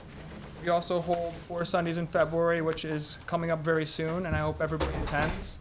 Uh, Silver Cord Bowl is our marquee event, and then we have three other events on each uh, coordinating Sunday, uh, finishing off with a really big show at the end of February. So we also, you know, we just had a grant round, which I finished uh, sending out the press release today. We awarded uh, almost $11,000 to 24 different artists to do programming and for FY 2015. Um, we had 61 applications asking upwards of $69,000. That is a, uh, the fall grant round is um, administered by the Massachusetts Cultural Council, so I would, uh, you know, ask any of our legislators here locally to, you know, petition the state for more funding because we can only fund $12,000 in projects and we had $70,000 in ask. So we can do a lot more with a lot more money in our, in our fair city. Um, you know, I came here mostly to talk about um, something that's new this year, which is the Paradise City Cultural District. And uh, the Northampton Arts Council took the lead on this, along with other cultural and business stakeholders in our community, to act on an initiative that has been put forward by the Massachusetts Cultural Council. And it is similar to a historic uh, district proposal, but this is um, trying to point out the cultural heritage in different municipalities in uh, Massachusetts. And the one we wanted to point out here is our, you know, very flourishing downtown to start. We're going to talk about Florence uh, later date. And uh, we got together a lot of stakeholders in town and created the um, Paradise City Cultural District. Um, there's a map. I put it in the, you know, in the little packet I gave you. I can have a little camera shot of it. I don't know where the camera is, but it's right there. There'll be uh, signage going up very soon. These lovely wood signs that's going to be looking like this.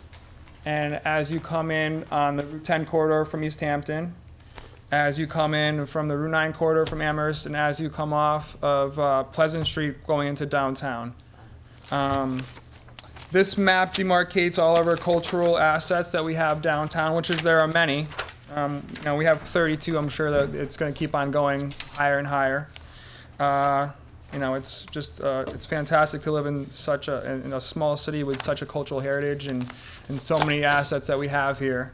Um, just wanted to thank Marianne Labarge for uh, inviting me to come speak today. Um, appreciate it. So uh, some other things I want to talk about the, the Paradise City Cultural District. We um, we had our first uh, um, meeting all together, all the stakeholders with the cultural district that came came uh, together. And one of the biggest things that came out of it, I think, which is to me is the holy grail of arts and culture in uh, Northampton, is a multi-user interface um, events calendar, which uh, where every stakeholder we're going to try to work on programming where every stakeholder will replace their calendar on their website, event website, and it'll be one calendar that everybody uses. Because you know we always have an issue with there's so many different events going on in town. Like where do you go for the uh, the ultimate what happens in Northampton tonight? You know, so we're working on a multi-user calendar where you can go to either you know the historic Northampton's website, the Arts Council website, the Center for the Arts website. The same calendar will be on all of them, where there'll be a tab that says this is the Center for the Arts events, but there's another tab that says these are the City of Northampton's events. And that will include Florence and Leeds as well. So we can have, and we have some plans to do, uh, you know, to have that going on and the programming behind that. So to me, that was the biggest thing that came out of that first meeting, um, just to have more awareness about the, you know, the cultural events and arts events that we have in our in our city. Um, the other thing is come to Four Sundays. Uh, I don't know if I have anybody questions from the, the council. You know, I just wanted to make it short and sweet this time. Very specific question. You mentioned that you give seven to nine thousand dollars public schools to arts programs in the public schools. If someone wanted to earmark and contribute directly to that, can they do that? So if someone donated money, it could go directly to that particular program in the schools? It's uh, so this is our Transperformance initiative that we have every year in um, in Look Park. So the Pines Theater concert, we work directly with the PTOS of each of the public schools, and we donate directly to those PTOS that make sure that the money is earmarked for arts enrichment.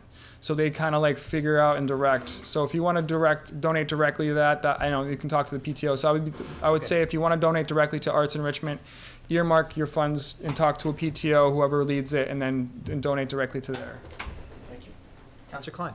Um, I'm looking at the map that you gave us, and I'm just curious about, um, these, the thirty-two numbers you have here. Some of them are businesses, like clothing businesses and things. Mhm. What exactly classifies somebody as eligible to be part of the Paradise City Cultural District? Um, so we would earmark some of those businesses which participate in Arts Night Out, which have open gallery space for artists to show visual arts, sculpture, or even have performance there. Um, a lot of the Arts Night Out um, um, participants are going to be local businesses, um, restaurants, uh, you know, retail stores, but they offer their space to artists to display their work. Explains it, thank you. Is there any other questions, comments? Counselor Labarge. Thank you. Um, Brian, you mentioned about Florence. Mm -hmm. What Are your plans in the near future with Florence? Um, you know, we do. The near future in Florence is that we've been really trying to foster Florence Night Out and make sure that that event happens still. It's right now, I don't know what the future plans for it, we've supported with grants and organizational support and, and, and making sure artists are available to, um, Donna Bell to, to, you know, to work in Florence, you know. Our arts events producer, Steve Sanderson, performed at the last Florence Night Out, uh, along with other artists that we support grant-wise that showed their work there. Um, in the future, we're looking at using, um, some of the space to have some kickoff parties for some of our larger events to bring some more um, exposure to artists in the Pine Street building. Um, we're looking at some some possibilities. Transperformances are one of our biggest events that we have every year, and it happens in Florence, and it's lovely to see the community come out. And we're, we're like identifying more art space to you know to promote uh, you know some kind of arts night out type of uh, event happening there a little bit more frequently than Florence Night Out. I want to thank you, Brian, and all the support that you're getting from these, all these businesses. You're doing a great job. Thanks, Marianne. Is there anything else? Thank you for Dir- Director Foot. Thank you for being here and for what you do. I think at this point, we'll recess for Finance Committee. I've been asked to chair Finance Committee tonight in the absence of Counselor Murphy, so it's me again. Should put a different hat on. Should go sit in there. Yeah, right. Roll call?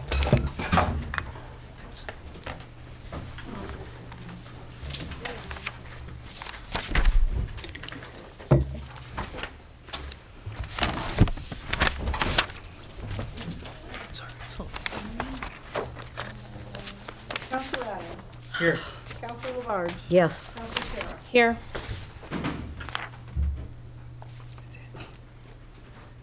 Is there a motion to approve the minutes of the previous meeting? November to 6th? approve. We already did, Oh, that's right, we took, we took them. Did we take them?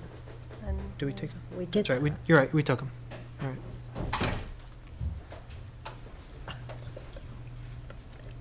Now I'll move to financial orders. Um, 4.1, 14.20, uh, 284 is tax classification.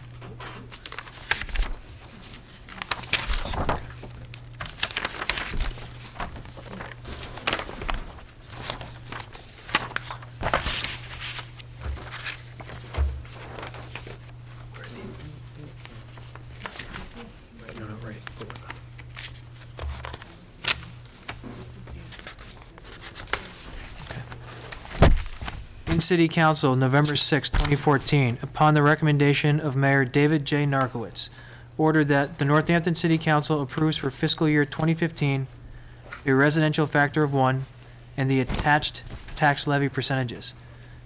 Is there a motion? Move for- to approve. Second. All those in favor? Aye. Aye. Aye. Opposed?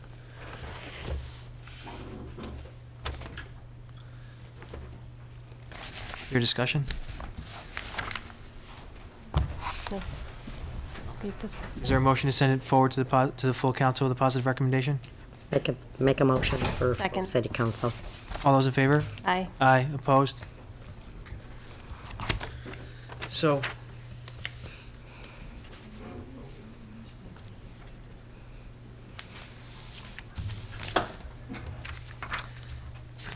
The next item is in City Council, November sixth, 2014. Um, Well, I'll- the next item is a CPA allocation. So I'll just go ahead and read it. In City Council, November sixth, 2014, upon recommendation of the mayor, ordered that upon the recommendation of the Community Preservation Committee, the following amounts be appropriated or reserved from fiscal year 2015 Community Preservation Funds, fund estimated at 1,660,000 for fiscal year 2015 community preservation purposes. That's, in, the, that total number comes from the 1,060,000 FY 15 local assessment plus $600,000 estimated maximum state match. 182,600 from FY 15 total estimated CPA revenue to the Community Preservation Fund Open Space Reserve. Of 182,600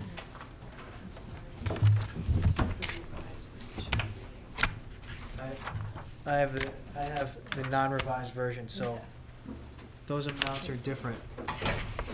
Sorry about that. So, So so I'll start again. On the recommendation of the Community Preservation Committee, the following amounts be appropriated or reserved from fiscal year 2015 Community Preservation Fund estimated at $1,446,835, which is $1,060,000 $60,000 FY15 local assessment, assessment, assessment estimate, plus the three $386,835 confirmed by state match for fiscal year 2015 community preservation purposes. One uh, 159,000 from FY15 total estimated CPA revenue to the Community Preservation Fund Open Space Reserve. 159,000 from FY15 total estimated CPA revenue to the Community Preservation Fund Historic Preservation Reserve. 159,000 from FY15 total estimated CPA revenue to the Community Preservation Fund Affordable Housing Reserve. $60,000 from FY15 total estimated CPA revenue to the Community Preservation Fund Administrative Account.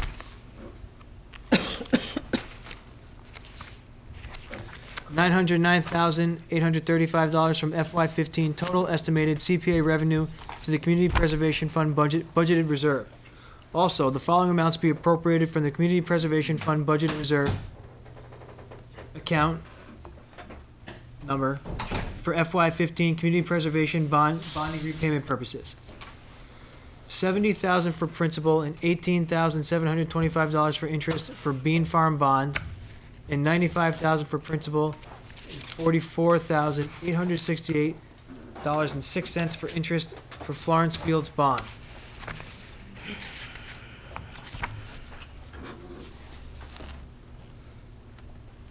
There a motion to approve? Move to approve? Second. Sir, All those in favor? Aye. Mayor, would you like to speak? Uh, sure, although, did you just vote on it? Well, um, I was, well, if, I was attempting to. Oh, to- okay.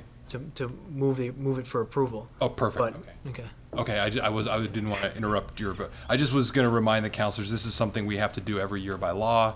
The law requires us to allocate CPA funds um, uh, into these specific fund categories.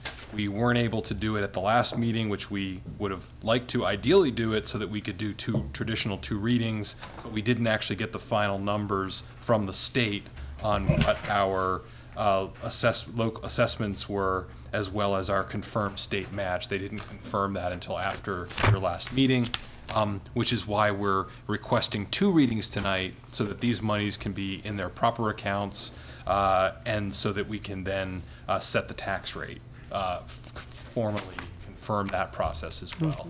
So that's uh, essentially what you're doing, and we do this every fiscal year. We're required to by the CPA law. Council Sciarra. I just asked why why isn't there a recreation fund? Because um, the recreation is always been considered a subset of the um, of the open space. Uh, it's sort of open space or recreation, so it's not given its own separate category. It's just one of the yeah. So it's a subset of that. Yep. Are there any further questions? Just to point out, there's, there are two readings are requested on both the tax classification and these, al- these allocations when we get to the full council. Is there a motion to send this CPA allocation? Make a forward motion to send it to full city Second. council. All those in favor? Aye. Aye. Opposed? Okay.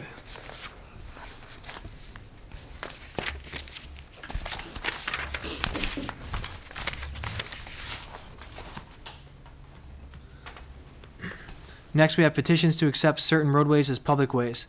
And I think we can take, uh, if there are no objections, we'll take Clark Street, Cook Ave, and Massasoit Ave as a group. Yes. Um, well, would anyone like to move to, make a motion to move these? I make a motion. Second. We send it to full city council.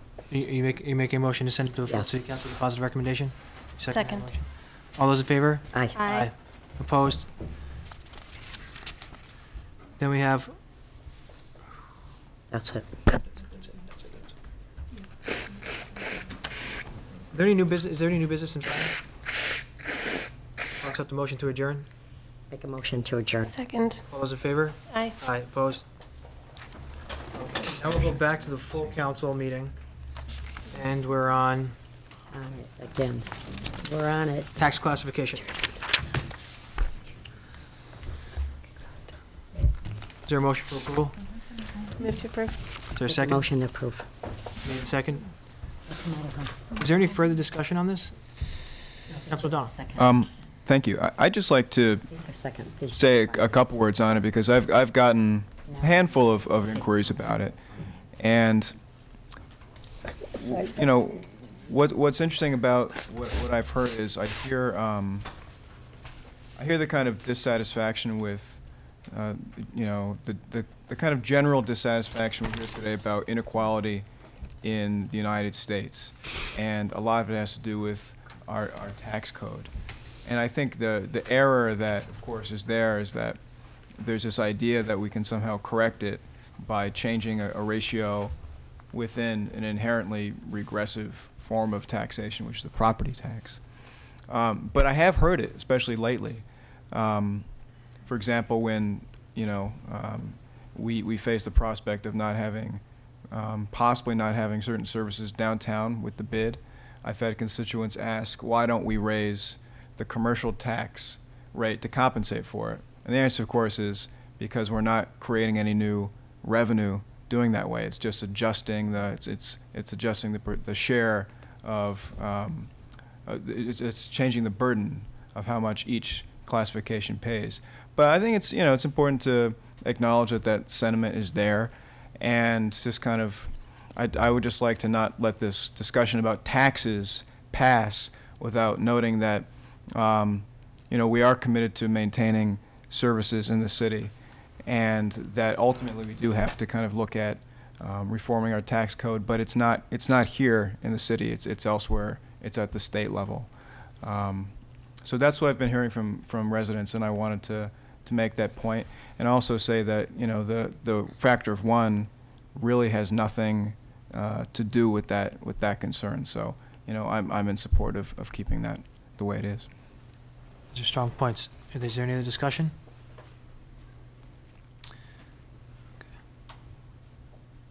Roll call vote? Counselor Klein. Yes. Counselor Labarge. Yes. Counselor O'Donnell. Yes. Counselor Sciarra. Yes. Counselor Spector. Yes. Counselor Adams. Yes. Counselor Carney. Yes. Is there, a- Suspend Rule 14. Second. all those in favor? Aye. Aye. Opposed? Motion on second reading? So moved. Second. Second. Moved and seconded. Is there any discussion on second reading? Roll call, please. Counselor Labarge. Yes. Counselor O'Donnell. Yes. Counselor Sciarra. Yes. Counselor Spector. Yes. Counselor Adams. Yes. Counselor Carney. Yes. Counselor Klein. Yes. We'll now move to petitions to accept certain roadways as public ways. And I would invite the councilors to take these as a group if they're so inclined. Move to take we're these as a group. I we were doing CPA. Correct. Thank you. Sorry. I skipped that. We'll- I'll have to go back. CPA allocations 14 14.283. Um, That was just read in finance. Yes. Um, Is there a motion to, to accept? Move to approve. Second. Is there any discussion on this? Mm-mm. Roll call vote? Counselor O'Donnell. Yes. Counselor Sciarra. Yes. Counselor Spector. Yes. Counselor Adams. Yes. Counselor Carney. Yes. Counselor Klein. Yes. Counselor Labarge. Yes. Suspend Rule 14. Is there a second? Second. All those in favor? Aye. Aye. Aye. Opposed? Roll call. Counselor Sciarra. Yes. Counselor Spector. Yes. Counselor Adams. Yes. Counselor Carney. Yes. Counselor Klein. Yes. Counselor Labarge. Yes. Counselor O'Donnell. Yes. And I'll now re-entertain the Uh, motion to take. Move, move those uh, roads to be accepted as public ways. As Second it. Motion's made and seconded. Is there discussion on this? Councilor O'Donnell? There's just a small typo, uh, I thought I would call, in, in each of, in each of these three. Um, It's in the final sentence. It reads, "And further, that no damages shall be payable as a result of the any taking authorized." So I assume we strike the, we simply strike the word "the" for The each of the each. third, each of, each of these three. Scribner's, Scrivener's accept the Scribner's error. We'll accept that as a Scrivener's error. Thank you. Is there any other? Is that on this?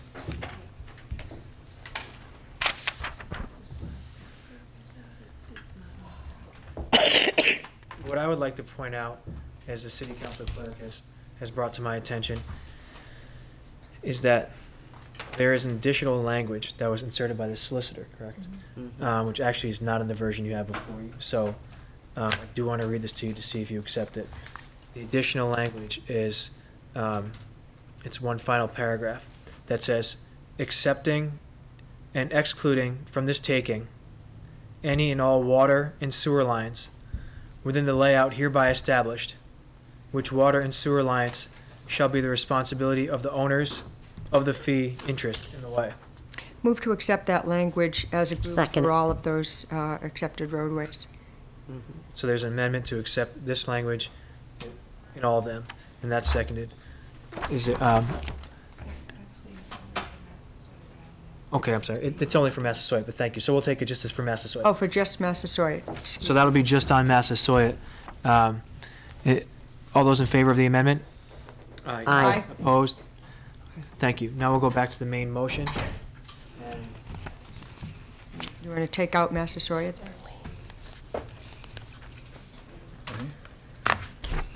So we're not doing Scanlon. So we, I think we can take them all together, it's just that Massasoit's amended now. Yeah, we can still Okay. take them together. Okay, so. Move second reading of all of those to be taken as a group with the amendment for Massasoit Street. Second. But aren't we removing one of them, Scanlon?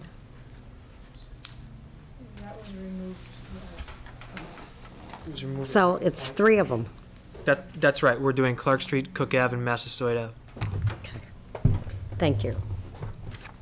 So we're now on second reading. Uh, first reading. First. With, with them as a, with the motion as amended. Um, roll call vote, please. Counselor Sciarra? Yes. Counselor Spector? Yes. Counselor Adams? Yes. Counselor Carney? Yes. Counselor Klein? Yes. Counselor Labarge? Yes. Counselor O'Donnell? Yes. Okay. We now move to, we have um, several, several items on second reading.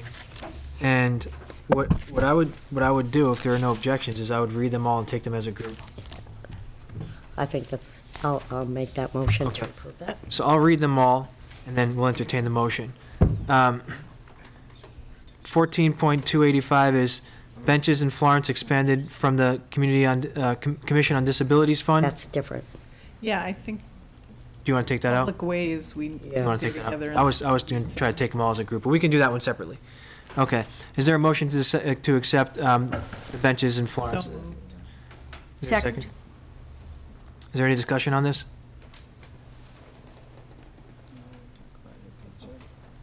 Oh, I didn't hear what he was saying. We're- Oh, also, um, I had sent an email to our, um, council clerk in regards to having the pictures given to each one of you counselors of what the bench, the benches will be looking like, that, um, the mayor is, has worked very closely with the Board of Public Works of ordering them, and they're just really beautiful. Um, Because I know there were some questions in regards to the, what the benches were made out of. And if you also notice with the arm parts for handling them, it's very good for people with disabilities who need to be able to help themselves get up. Um, they are made of, I think it's maple, six-foot benches. And we just had a meeting Tuesday night in regards to the plaques, so I think we'll be coming back for some more money to go ahead and let us buy the plaques to put on the benches for up in Florence. So, thank you, Council. Just wanted you to see what the benches look like. Thank you, Councilor. We're very proud of it. Thank you. Is there any other discussion? So we're back to the vote. All those in favor? Aye. Aye. Sorry, we do need a roll call on that. Roll call. Counselor Spector? Yes. Counselor Adams? Yes. Counselor Carney? Yes. Counselor Klein? Yes. Counselor Labarge? Yes. Counselor Murphy? Sorry, Counselor O'Donnell. Yes. Counselor Sciarra. Yes.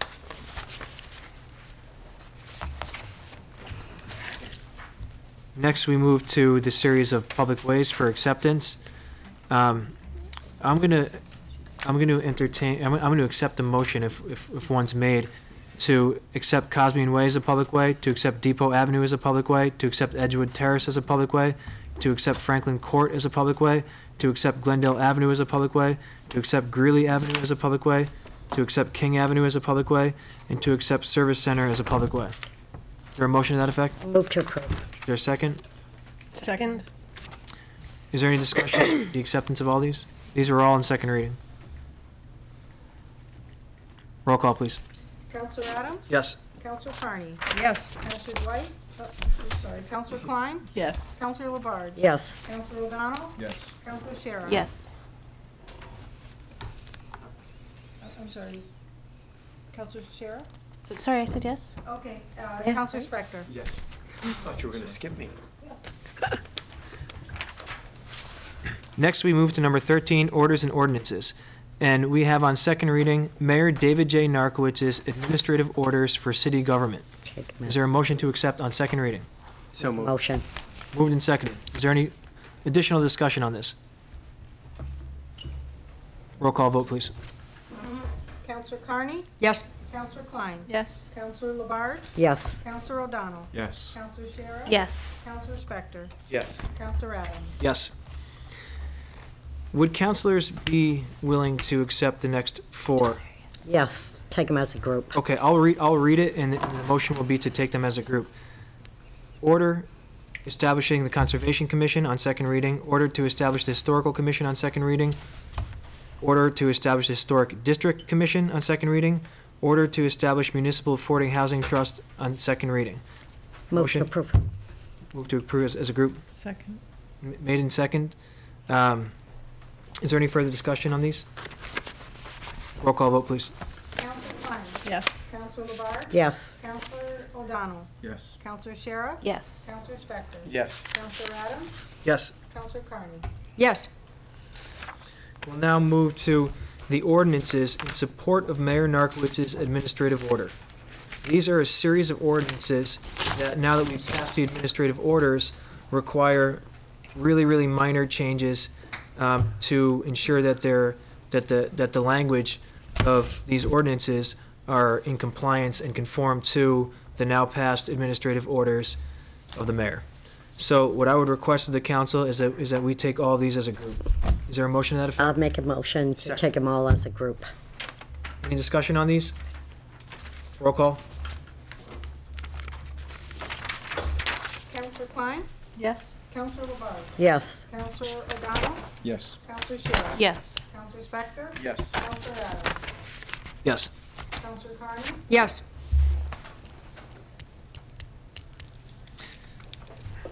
We now move to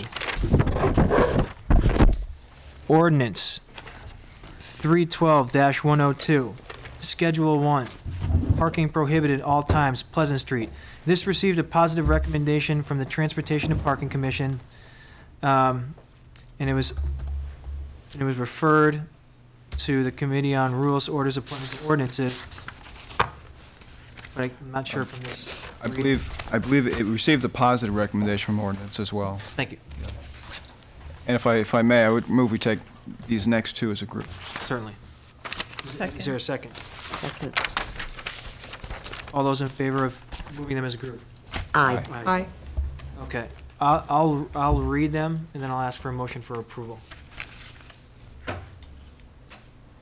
Upon the recommendation of Transportation and Parking, an ordinance of the City of Northampton, Massachusetts, providing that the Code of Ordinances, City of Northampton, Massachusetts, be amended by revising Section 312-102 of said code, providing that Schedule 1 parking prohibited at all times, be it ordained by the City Council of the City of Northampton in City Council assembled as follows. Section 1, that's Section 312-102 of the Code of Ordinances of the City of Northampton, Massachusetts, be amended so that such section shall read as follows.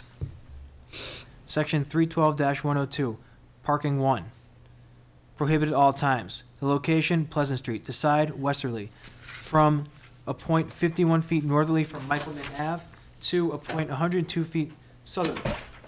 And the next ordinance that we're moving as a group with that ordinance reads, an ordinance of the City of Northampton, Massachusetts, provided that the Code of Ordinances, City of Northampton, Massachusetts, be amended by revising Section 312 109 of said code, providing that Schedule 8, on-street parking meter zones, be it ordained by the City Council of the City of Northampton, in City Council assembled as follows. Section 1, that Section 312-109 of the Code of Ordinances of the City of Northampton, Massachusetts, be amended so that such section shall read as follows. Section 312-109, Schedule 8, on-street parking meter zones. It's amended so that it reads, "Lo- location is Pleasant Street, the side is easterly from Kingsley Avenue to Holyoke Street, and the time limit is two hours, and the class is Class 1B." And added is, the location is Pleasant Street on the westerly side from Kingsley Avenue to a point 51 feet from northerly from Michelman Avenue. The time limit is two hours, and the class is 1B. Is there a motion to approve both those Make a ordinances? motion to approve. Second. Is there any discussion on this? Uh, Just a question, is that the spot in front of Hugo's? Uh, in front of the, uh, the watering hole, yeah. Or the watering hole? The watering Okay. hole. Okay.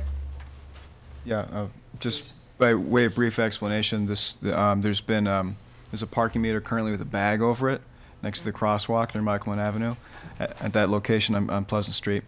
And, um, as part of the process to remove it. And the reason for removing, uh, this parking meter, which is what these two ordinances do, is to improve visibility at that crosswalk there. And it's been, uh, it's been pending for quite some time, so. Is there any further discussion on this matter? Roll call vote, please. Counselor Labarge. Yes. Counselor O'Donnell. Yes. Counselor Sciarra. Yes. Counselor Spector. Yes. Counselor Adams. Yes. Counselor Carney. Yes. Counselor Klein. Yes. Those two ordinances pass on first reading. We now move to ordinances regarding seven-plus units in URB and URC districts. This received positive recommendation from the Committee on Rules, Orders, Appointments, and Ordinances. This matter is on first reading. Is there a motion on first reading? Move to approve. Second? Is it moved and seconded? Thank you. Um, Is there a motion to recognize Ms. Misch? Um, move to recognize Ms. Misch. Second it. All in favor? Aye. Opposed?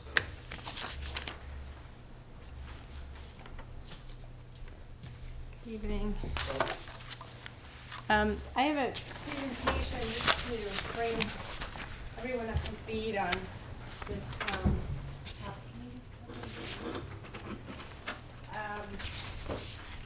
and also to recap sort of the months that we've been discussing this. Um, I know some of your counselors have been, have participated in the public hearing process, um, as it moved um, from last September when we made these big changes to this point today. So, but I want to backtrack a little bit so everyone, so we're all on the same page. So I'll go over the process of how these ordinances came to you, and then um, go into some of the details of the proposed modifications um, relative to the special permits.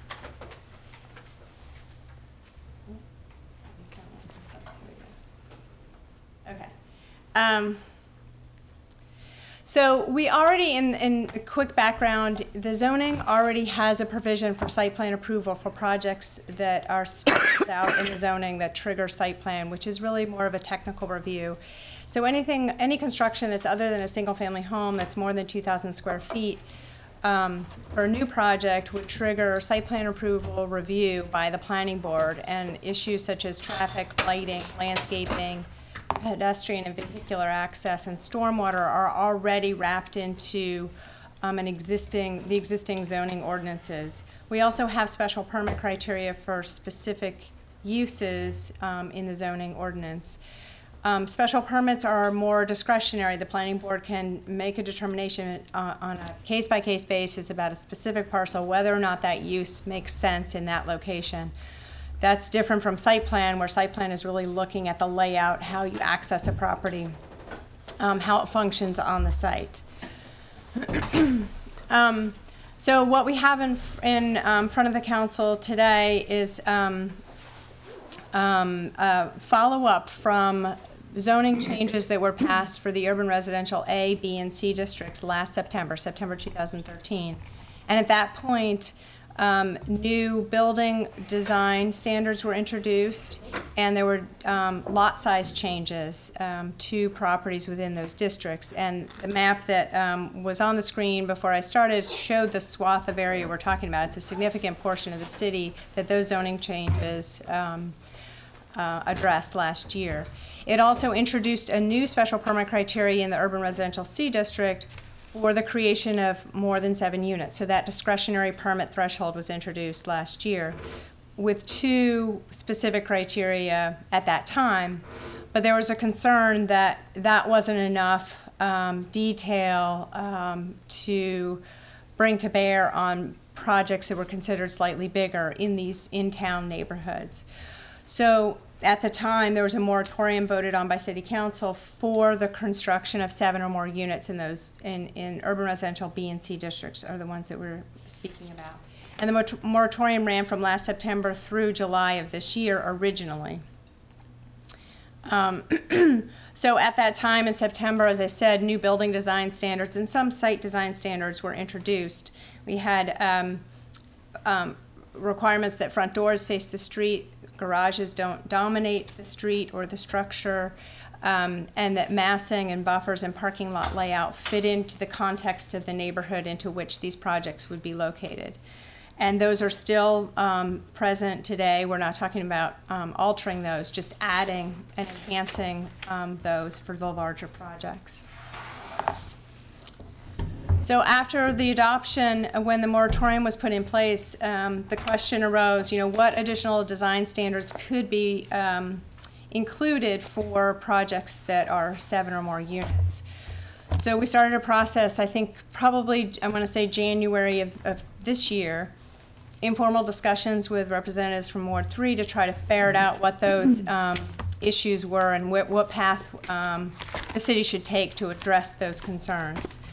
We also had um, a specific meeting with um, neighbors around the South Street neighborhood for, uh, related to the Fort Hill site, which is owned by Smith, to try to get to how we might use um, gain information and concern from the neighborhood about what happens at that site and apply it through the regulatory process for these larger projects because that will frankly be one of the bigger build out projects over the next however long many years that might take 5 10 15 years to even come to fruition we're not sure um, so the planning board um, held multiple meetings from January through October, actually, of this year. Ordinance committee started um, being part of the conversation April, May timeframe. And so, and, and during that period, we also had a series of different public venues and forums to further um, discuss these details.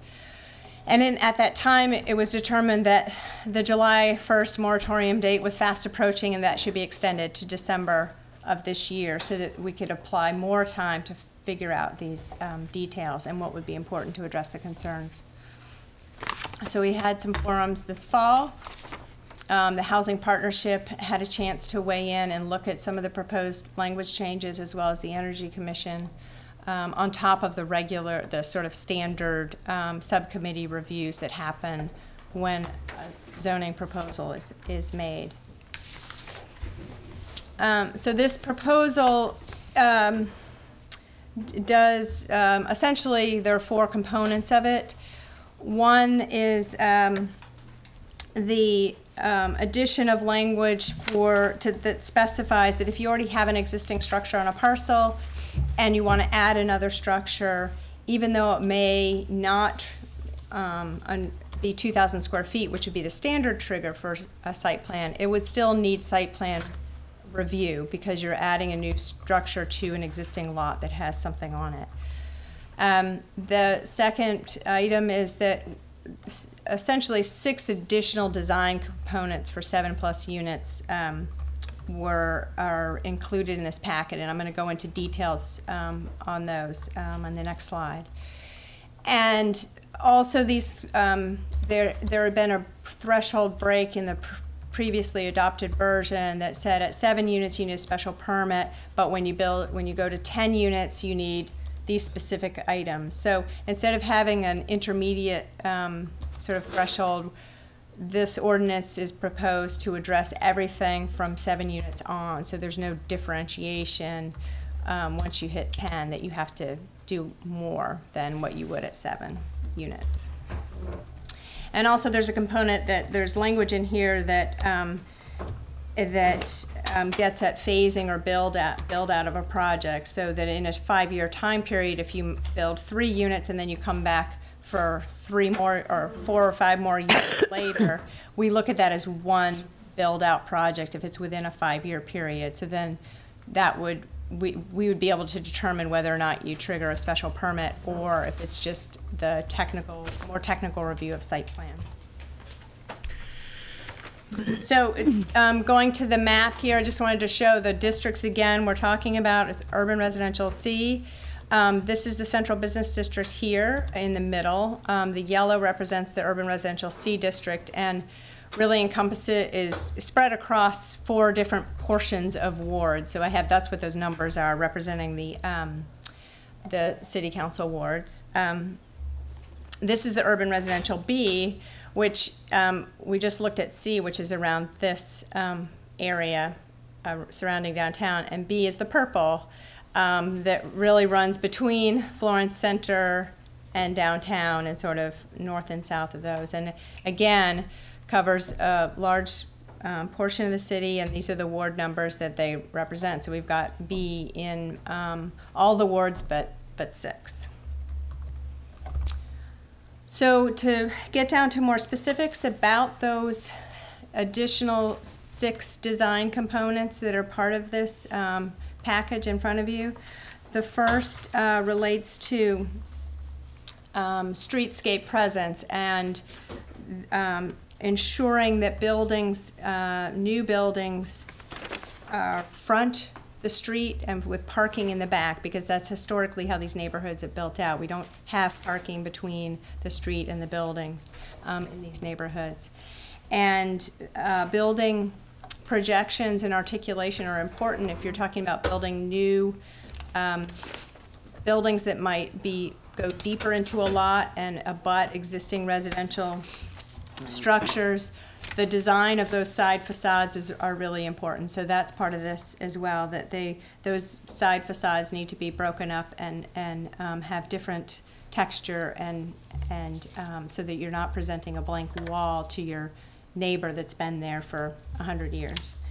Um, and the streetscape and how it functions between the street and the building is, is important. So adding, ensuring that the sidewalks are brought up to um, code, that there are landscape features, trees, benches, and so forth to make that um, fit into the context of that more pedestrian character that we have in these neighborhoods. Um, another component is um, related to pedestrian vehicular co connectivity. So we want to make sure that we're creating paths for people and vehicles to access to the site, but through the, but also through the site, and um, to the extent that it makes sense for those um, um, parcels to connect to abutting streets or, or abutting um, public spaces. Um, so they're not walled off from the rest of the community.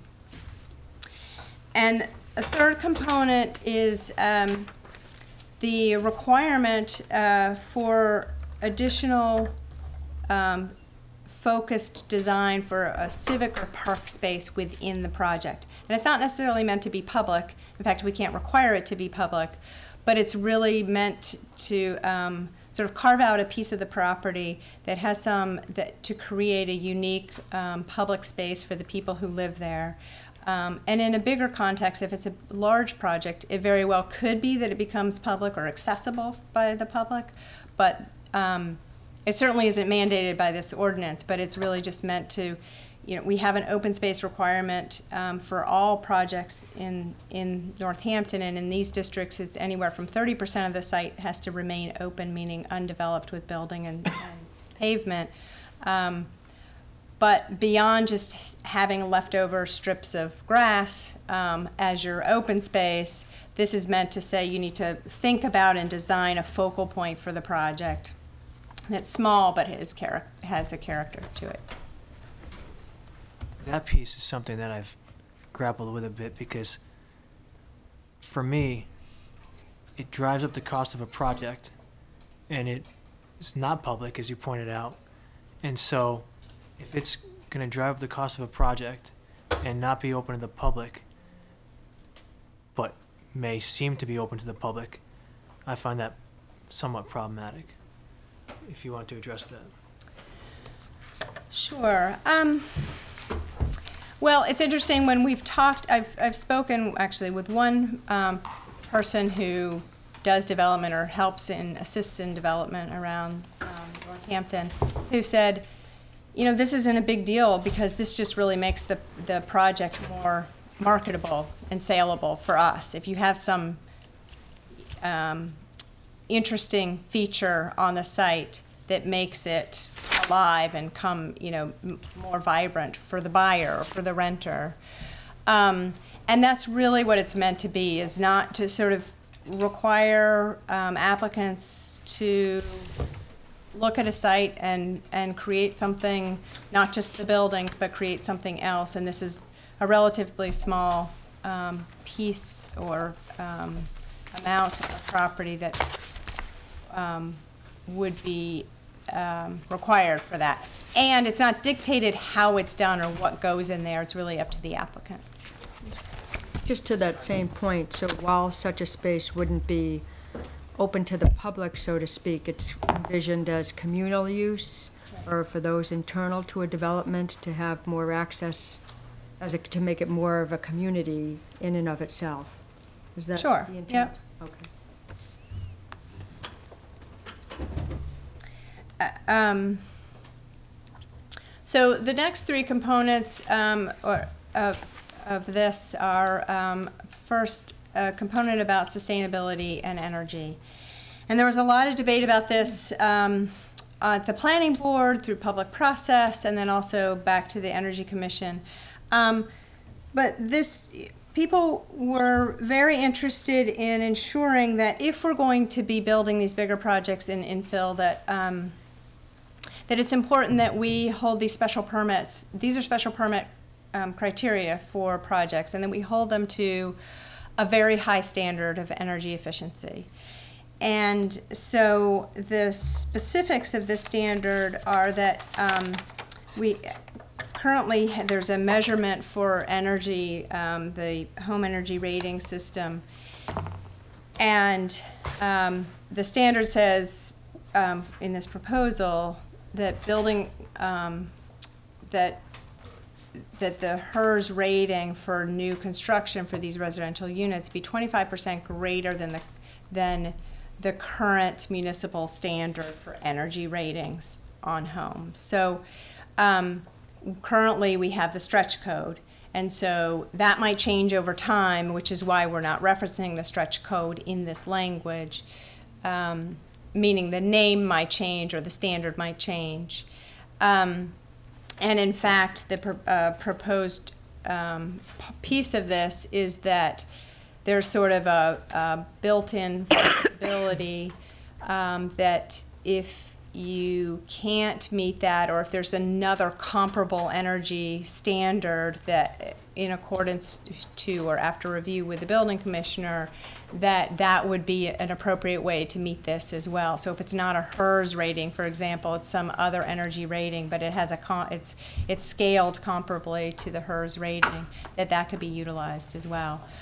So the the alternative is, um, if not, if you don't you can either um, meet the standard by showing that you have this HERS rating that's that's um, 47 for 1,200 square foot homes or 41 for larger than 1,200 square foot homes, or if you show that you're building all your units are going to be LEED Gold for new construction or LEED Gold um, neighborhood um, development. So that's the energy um, piece of it.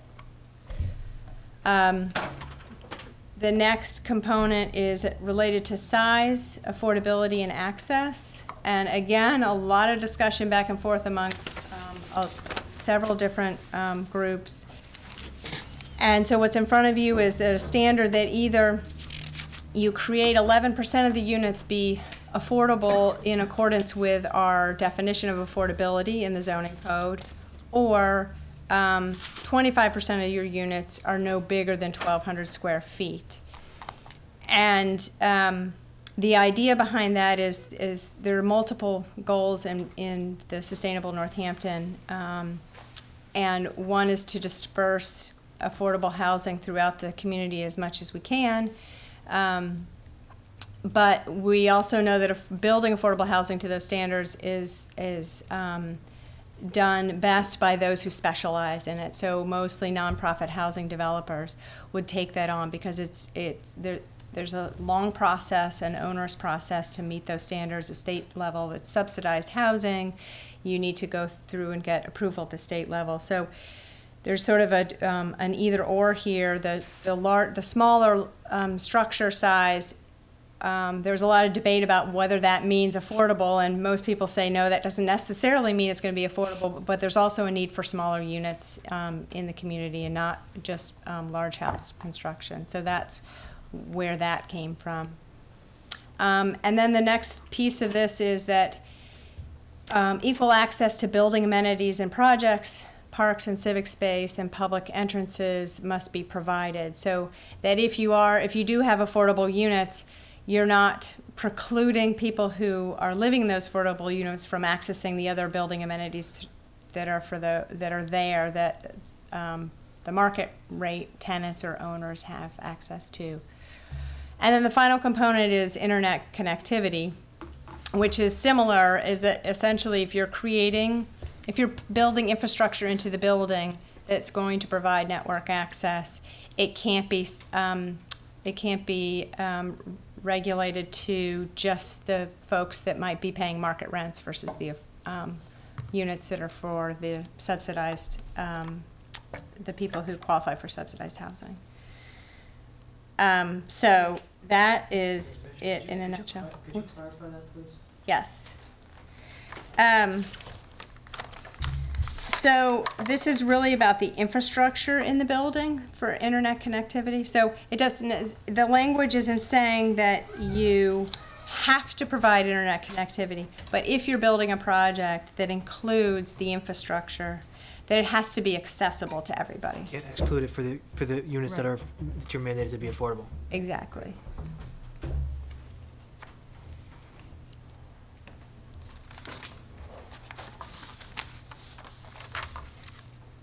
And then, um, just to follow up, there were a couple of, um, minor Scrivener's errors that I think did, um, Counselor O'Donnell, did you get those to? um, I, I didn't, I didn't get them to anyone, so Okay. you can So I will feel go free to. those. So there are a list, um, thanks to Counselor O'Donnell, he went through the whole thing and found some little edits, um, that I would, um, recommend, um, and I have the hard copy, uh, Pam.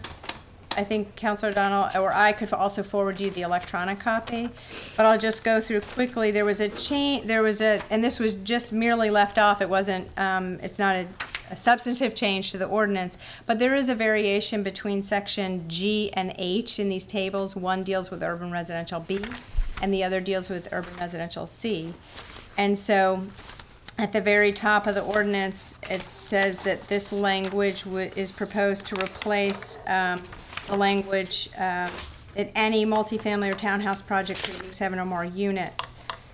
In urban residential B, we don't have, we don't allow multifamily units. So um, that's, that multifamily term should be um, struck from the um, table G. A- And that's the way it was introduced. I think just through all these changes, it just didn't get, it got deleted or added back in. Um, and then there's a spelling error, principal to principal, um, in um, section, um, in two, section one.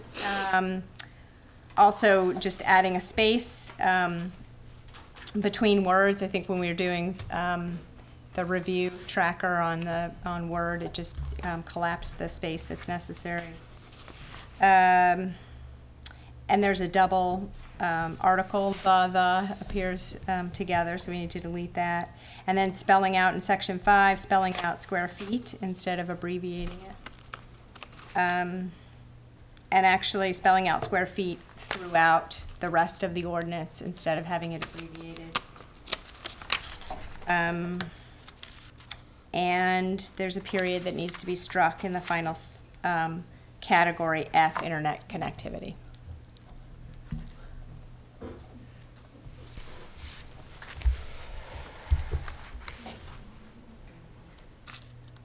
Are we um, asking our question? Counselor Klein? Uh, So I'm wondering if, I think it's kind of important that we backtrack a little bit for people that might be watching at home to explain the um, very baseline information here about the fact that we have um, a moratorium in place. This has already been decided by the last council, that you can build seven-plus units in URC and URB. Um, and this is actually just making sure that we have certain provisions in place for those. Because I think there's Exactly. still a misunderstanding Okay. amongst a lot of Mhm. people. Sure. That, um, we're making a decision about moving forward with a seven, with the allowance for seven unit Right. dwellings. Sure, and I'll, I'll step back um, even a little bit before September, just to clarify that further. Um, In the old zoning, pre-2013, um, in the urban residential B districts, we allowed more than seven townhouse units throughout the urban residential B district with special permit. Um, As we do today, um, under the ordinances that were adopted a year ago. In urban residential C, however, up until last year, any number of units was always site plan approval. It never triggered a special permit. Last September, a, a special permit threshold was instituted in the urban C districts, which was not there before. And again, it's discretionary versus the technical site plan review. So that was new last year, so that was a new hurdle or threshold that an applicant would have to, um, overcome. Um, but at that time, the moratorium, as you said, was put in place to buy time to think about more design standards that could be applicable to those units. So it was never intended um, to be um, something permanent. A moratorium is always temporary, and it can only be instituted as you're working on accomplishing something. So you're, you're right. So that, so we extended it in July because we saw that there just wasn't enough time to, to fine tune those, those items. And um, so now it's about to expire December 31st. Um, again, so if we didn't do anything, um, the moratorium would expire and then there would be no standards in place. Or they would be the standards that were adopted in September, which are far fewer than what's proposed in front of you today. And the design standards apply to um, dwellings that are seven-plus units. Um, What about six and less? So six and less are, um, the, the- there's, um, site plan review and design standards that were adopted last September apply. So I had a quick slide up here, um, that generalize those ones that are, that are in place, that deal with setbacks, massing, the way your front doors face the street, and, and the types of, um, um, and ensuring that garages don't deno- um, dominate those, those front facades. Um, and it also spells out uh, parking, breaking up parking spaces. So if you did do six units, for example, and you had to provide 12 parking spaces for the six units, you couldn't have a, a mass of 12 um, space parking lot. You have to break those down into smaller components and landscape those according to the standards. I will say there is another part of the proposed change here that does address all number of units going back to unit one um, related to um, landscaping of those parking areas to ensure that um, there's adequate buffer to uh, protect um, surrounding properties from headlights coming from automobiles, and that's part of this. There was a, there was that, that already was adopted last year, but this is a clarification or a further enhancement of that language. Councilor Labarge. Um, Carolyn, I feel that there's been a tremendous amount of months and months of spending it on hearings. And I'm very, very happy about that because I did attend quite a bit of those hearings. And I think it's a benefit for all counselors, no matter what ward it is, to hear what problems another ward might have with development, which someday could also change and affect other wards. Um, I heard a lot of people express reservations about the level of infill that would occur in their neighborhoods. And I think because of having all these hearings, listening to what their concerns were, that you worked out to the best that you could to accommodate what the infills and the problems that would occur in those neighborhoods. Um, in, in contrast to those concerns, the planning department has assured that all the residents that the new zoning will not overly impact the character of their neighborhoods, correct? Because I heard that quite a bit at those hearings. Right, that's the that. goal, for sure. Exactly.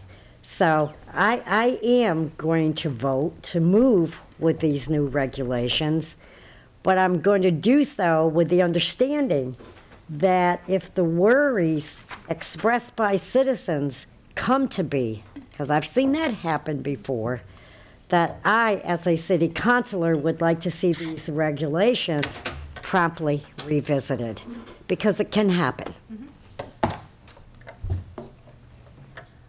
Thank you. Is there any further discussion? Uh, Just a com, uh, please. Um, Sciarra? uh, so Carolyn, you and Councilor O'Donnell and I have talked about this park space recently and, and talked about, um, thoughts on whether it was sufficient, of sufficient size. And, um, would you, could you give us your thoughts on, on what would you think about a, an increase to that?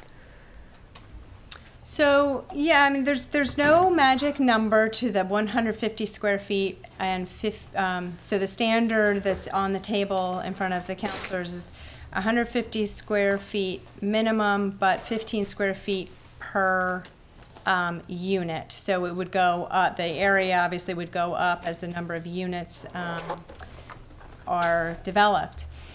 Um, and the goal was not to have something so big that it becomes onerous, but to have something that can be well thought out and well designed. Um, and and it's not there's not a magic number to what that is. It started out as 100 square feet. Um, minimum, actually, there was a discussion whether it should be 75 or 100. It landed on 100, and then that got bumped up to 150. So I think that um, if the counselors, and, and you particularly, if you feel that it um, should be a little bit bigger um, than that as sort of the bottom threshold, and then 15 per unit. So right now, I think we, um, we figured that out to be anything under 10 units would be 150 square feet. Anything over that starts ticking up. Um, so again, there's no magic number that um, uh, um, makes it a tipping point. So I think going up is, you know, reasonable. Um, if it if it gets to be too big, I think then it starts to be. Um, we'll probably address um, Councilor Adams' concern more about whether or not it becomes so burdensome that we're then not getting the housing that we're actually trying to encourage in these in-town areas that are walkable to services and and um, so forth. Councilor Carter? Thank you. I, I especially want to thank Councilors O'Donnell and Sciarra and Carolyn Misch from Planning for it's what seems to be a long, um, a long process and a, and a very dedicated amount of time that was appropriate for something as big as this. So I, I do feel comfortable that um, that voices were heard, that that uh, all of the concerns were really aired and vetted, and I appreciate all of the time and effort that went in to bring this finally to this point. So, thank you all for that. Thank you. I, I'd just like to make a kind of general comment first and then maybe pick up on, on the point that Councilor Sciarra raised. Um, right now, in, in the city, and especially in Ward Three, in other wards, but I, you know, I'm primarily thinking about Ward Three. Uh, it won't surprise you. Um, we're, we're sort of operating without a net. And if you look at some of the projects that might be around the corner, like Shaw's Motel, literally on, on the corner. Um, I want to make sure that if that project goes forward, that it goes forward with certain um, appropriate rules.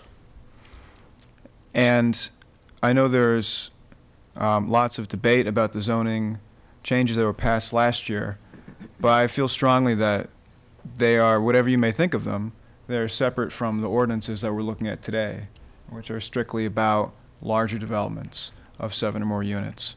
And I would hate to have the moratorium end with no rules in place.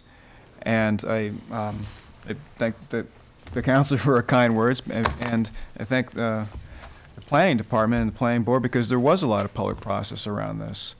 And it's the kind of thing because you're, you're making changes that eventually people may see in their city. I mean, you could have endless, endless discussions about this. And to Councilor Labarge's point, um, it is also our, our duty as a council to be vigilant going forward and assess what we've done.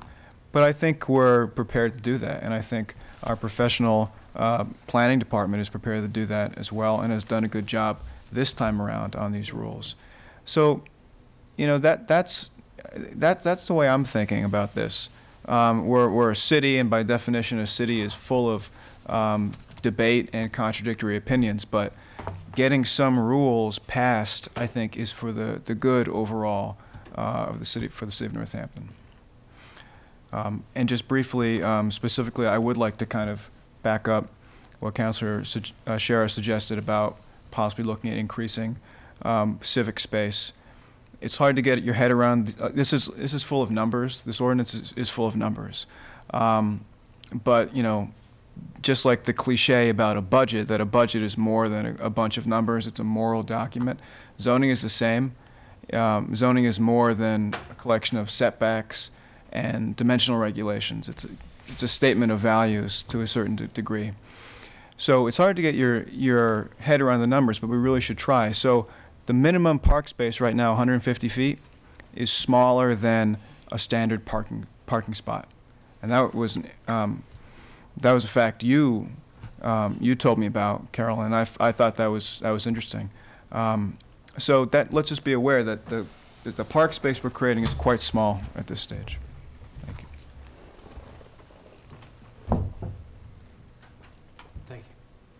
Is there any further comment, discussion?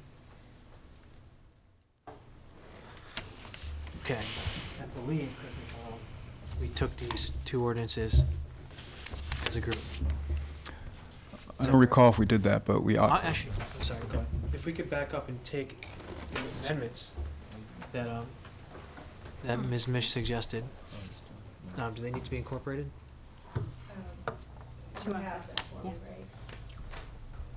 Excuse me, Mr. President, are you talking about the amendments or the, or the scrivener's error? Is that what? The, the amendments mean the scrivener's errors. Thank you. no- Nothing of substance, just, just the the language.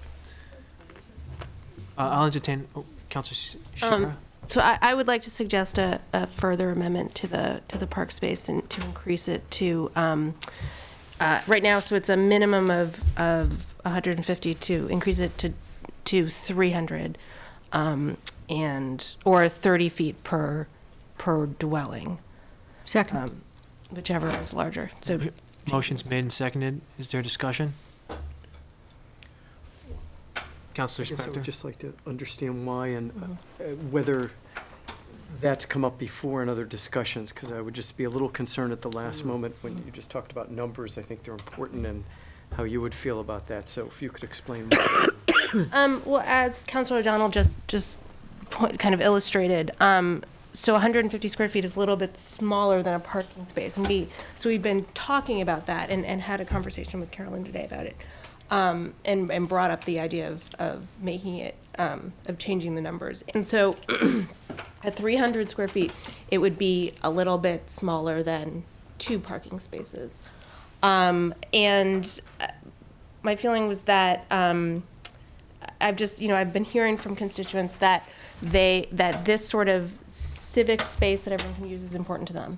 And, um, and having talking, having spoken to Carolyn about it, um, she indicated that that kind of increase she didn't think would have a negative impact, um, where I think it also, it could have a very positive impact for, for the residents of these developments. Thank you. Is there any further discussion on that?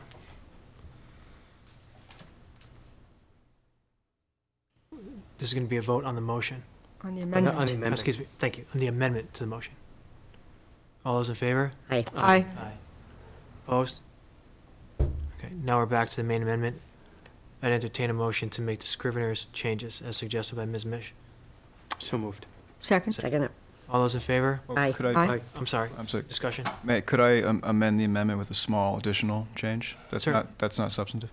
Um, It's simply that in section D, which sets forth um, energy standards, it's, it, the, uh, it has the number one uh, for the first section, but there is only one section. So we should strike the number one and make the sub-bullets one and two. If that's, is that clear? We- There's no need to number it because there's only one section, so I would add that to the minor corrections we're making as well. We'll accept as a friendly amendment. So, th- so the main amendment, main motion, that's an, am- that's an amendment, amendment, is to take all of those simultaneously. Okay. All those in favor on the, on the, on the amendment? Aye. Aye. Now we're back to the main motion. Yep. And we'll need, well, if there's no, is there further discussion on the main motion? On the main, on the ordinance before you? Ordinances. Um, we'll need a roll call vote, and it requires six for passage, being that it's a zoning ordinance. Counselor O'Donnell. Yes. Counselor Sciarra. Yes. Counselor Spector. Yes. Counselor Adams. Yes. Counselor Carney. Yes. Counselor Klein. Yes. Counselor Labarge. Yes. Passes. Next, updates from committee chairs. No, you've got some more referrals. I'm sorry. We have ordinances for referral to committee. Um,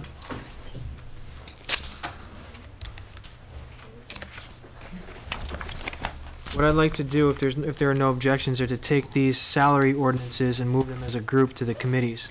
Move to refer Second. as a group, those documents. Made and seconded.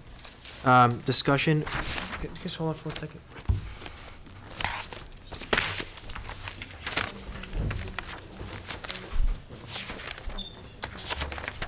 Um, I would like to also have these go to finance. Uh, I'll accept that. Thank you. So we'll just add. Yep. Okay, Thank you. Um, so, so the motion is to, to refer these out as a group to ordinance and finance. Is there any discussion? Nope. All those in favor? Aye. Aye. Opposed? Now we have updates from committee chairs. We'll move to information requests. New business. Motion to adjourn. Move to adjourn. Third, second it. All those in favor? Aye. Aye. Opposed?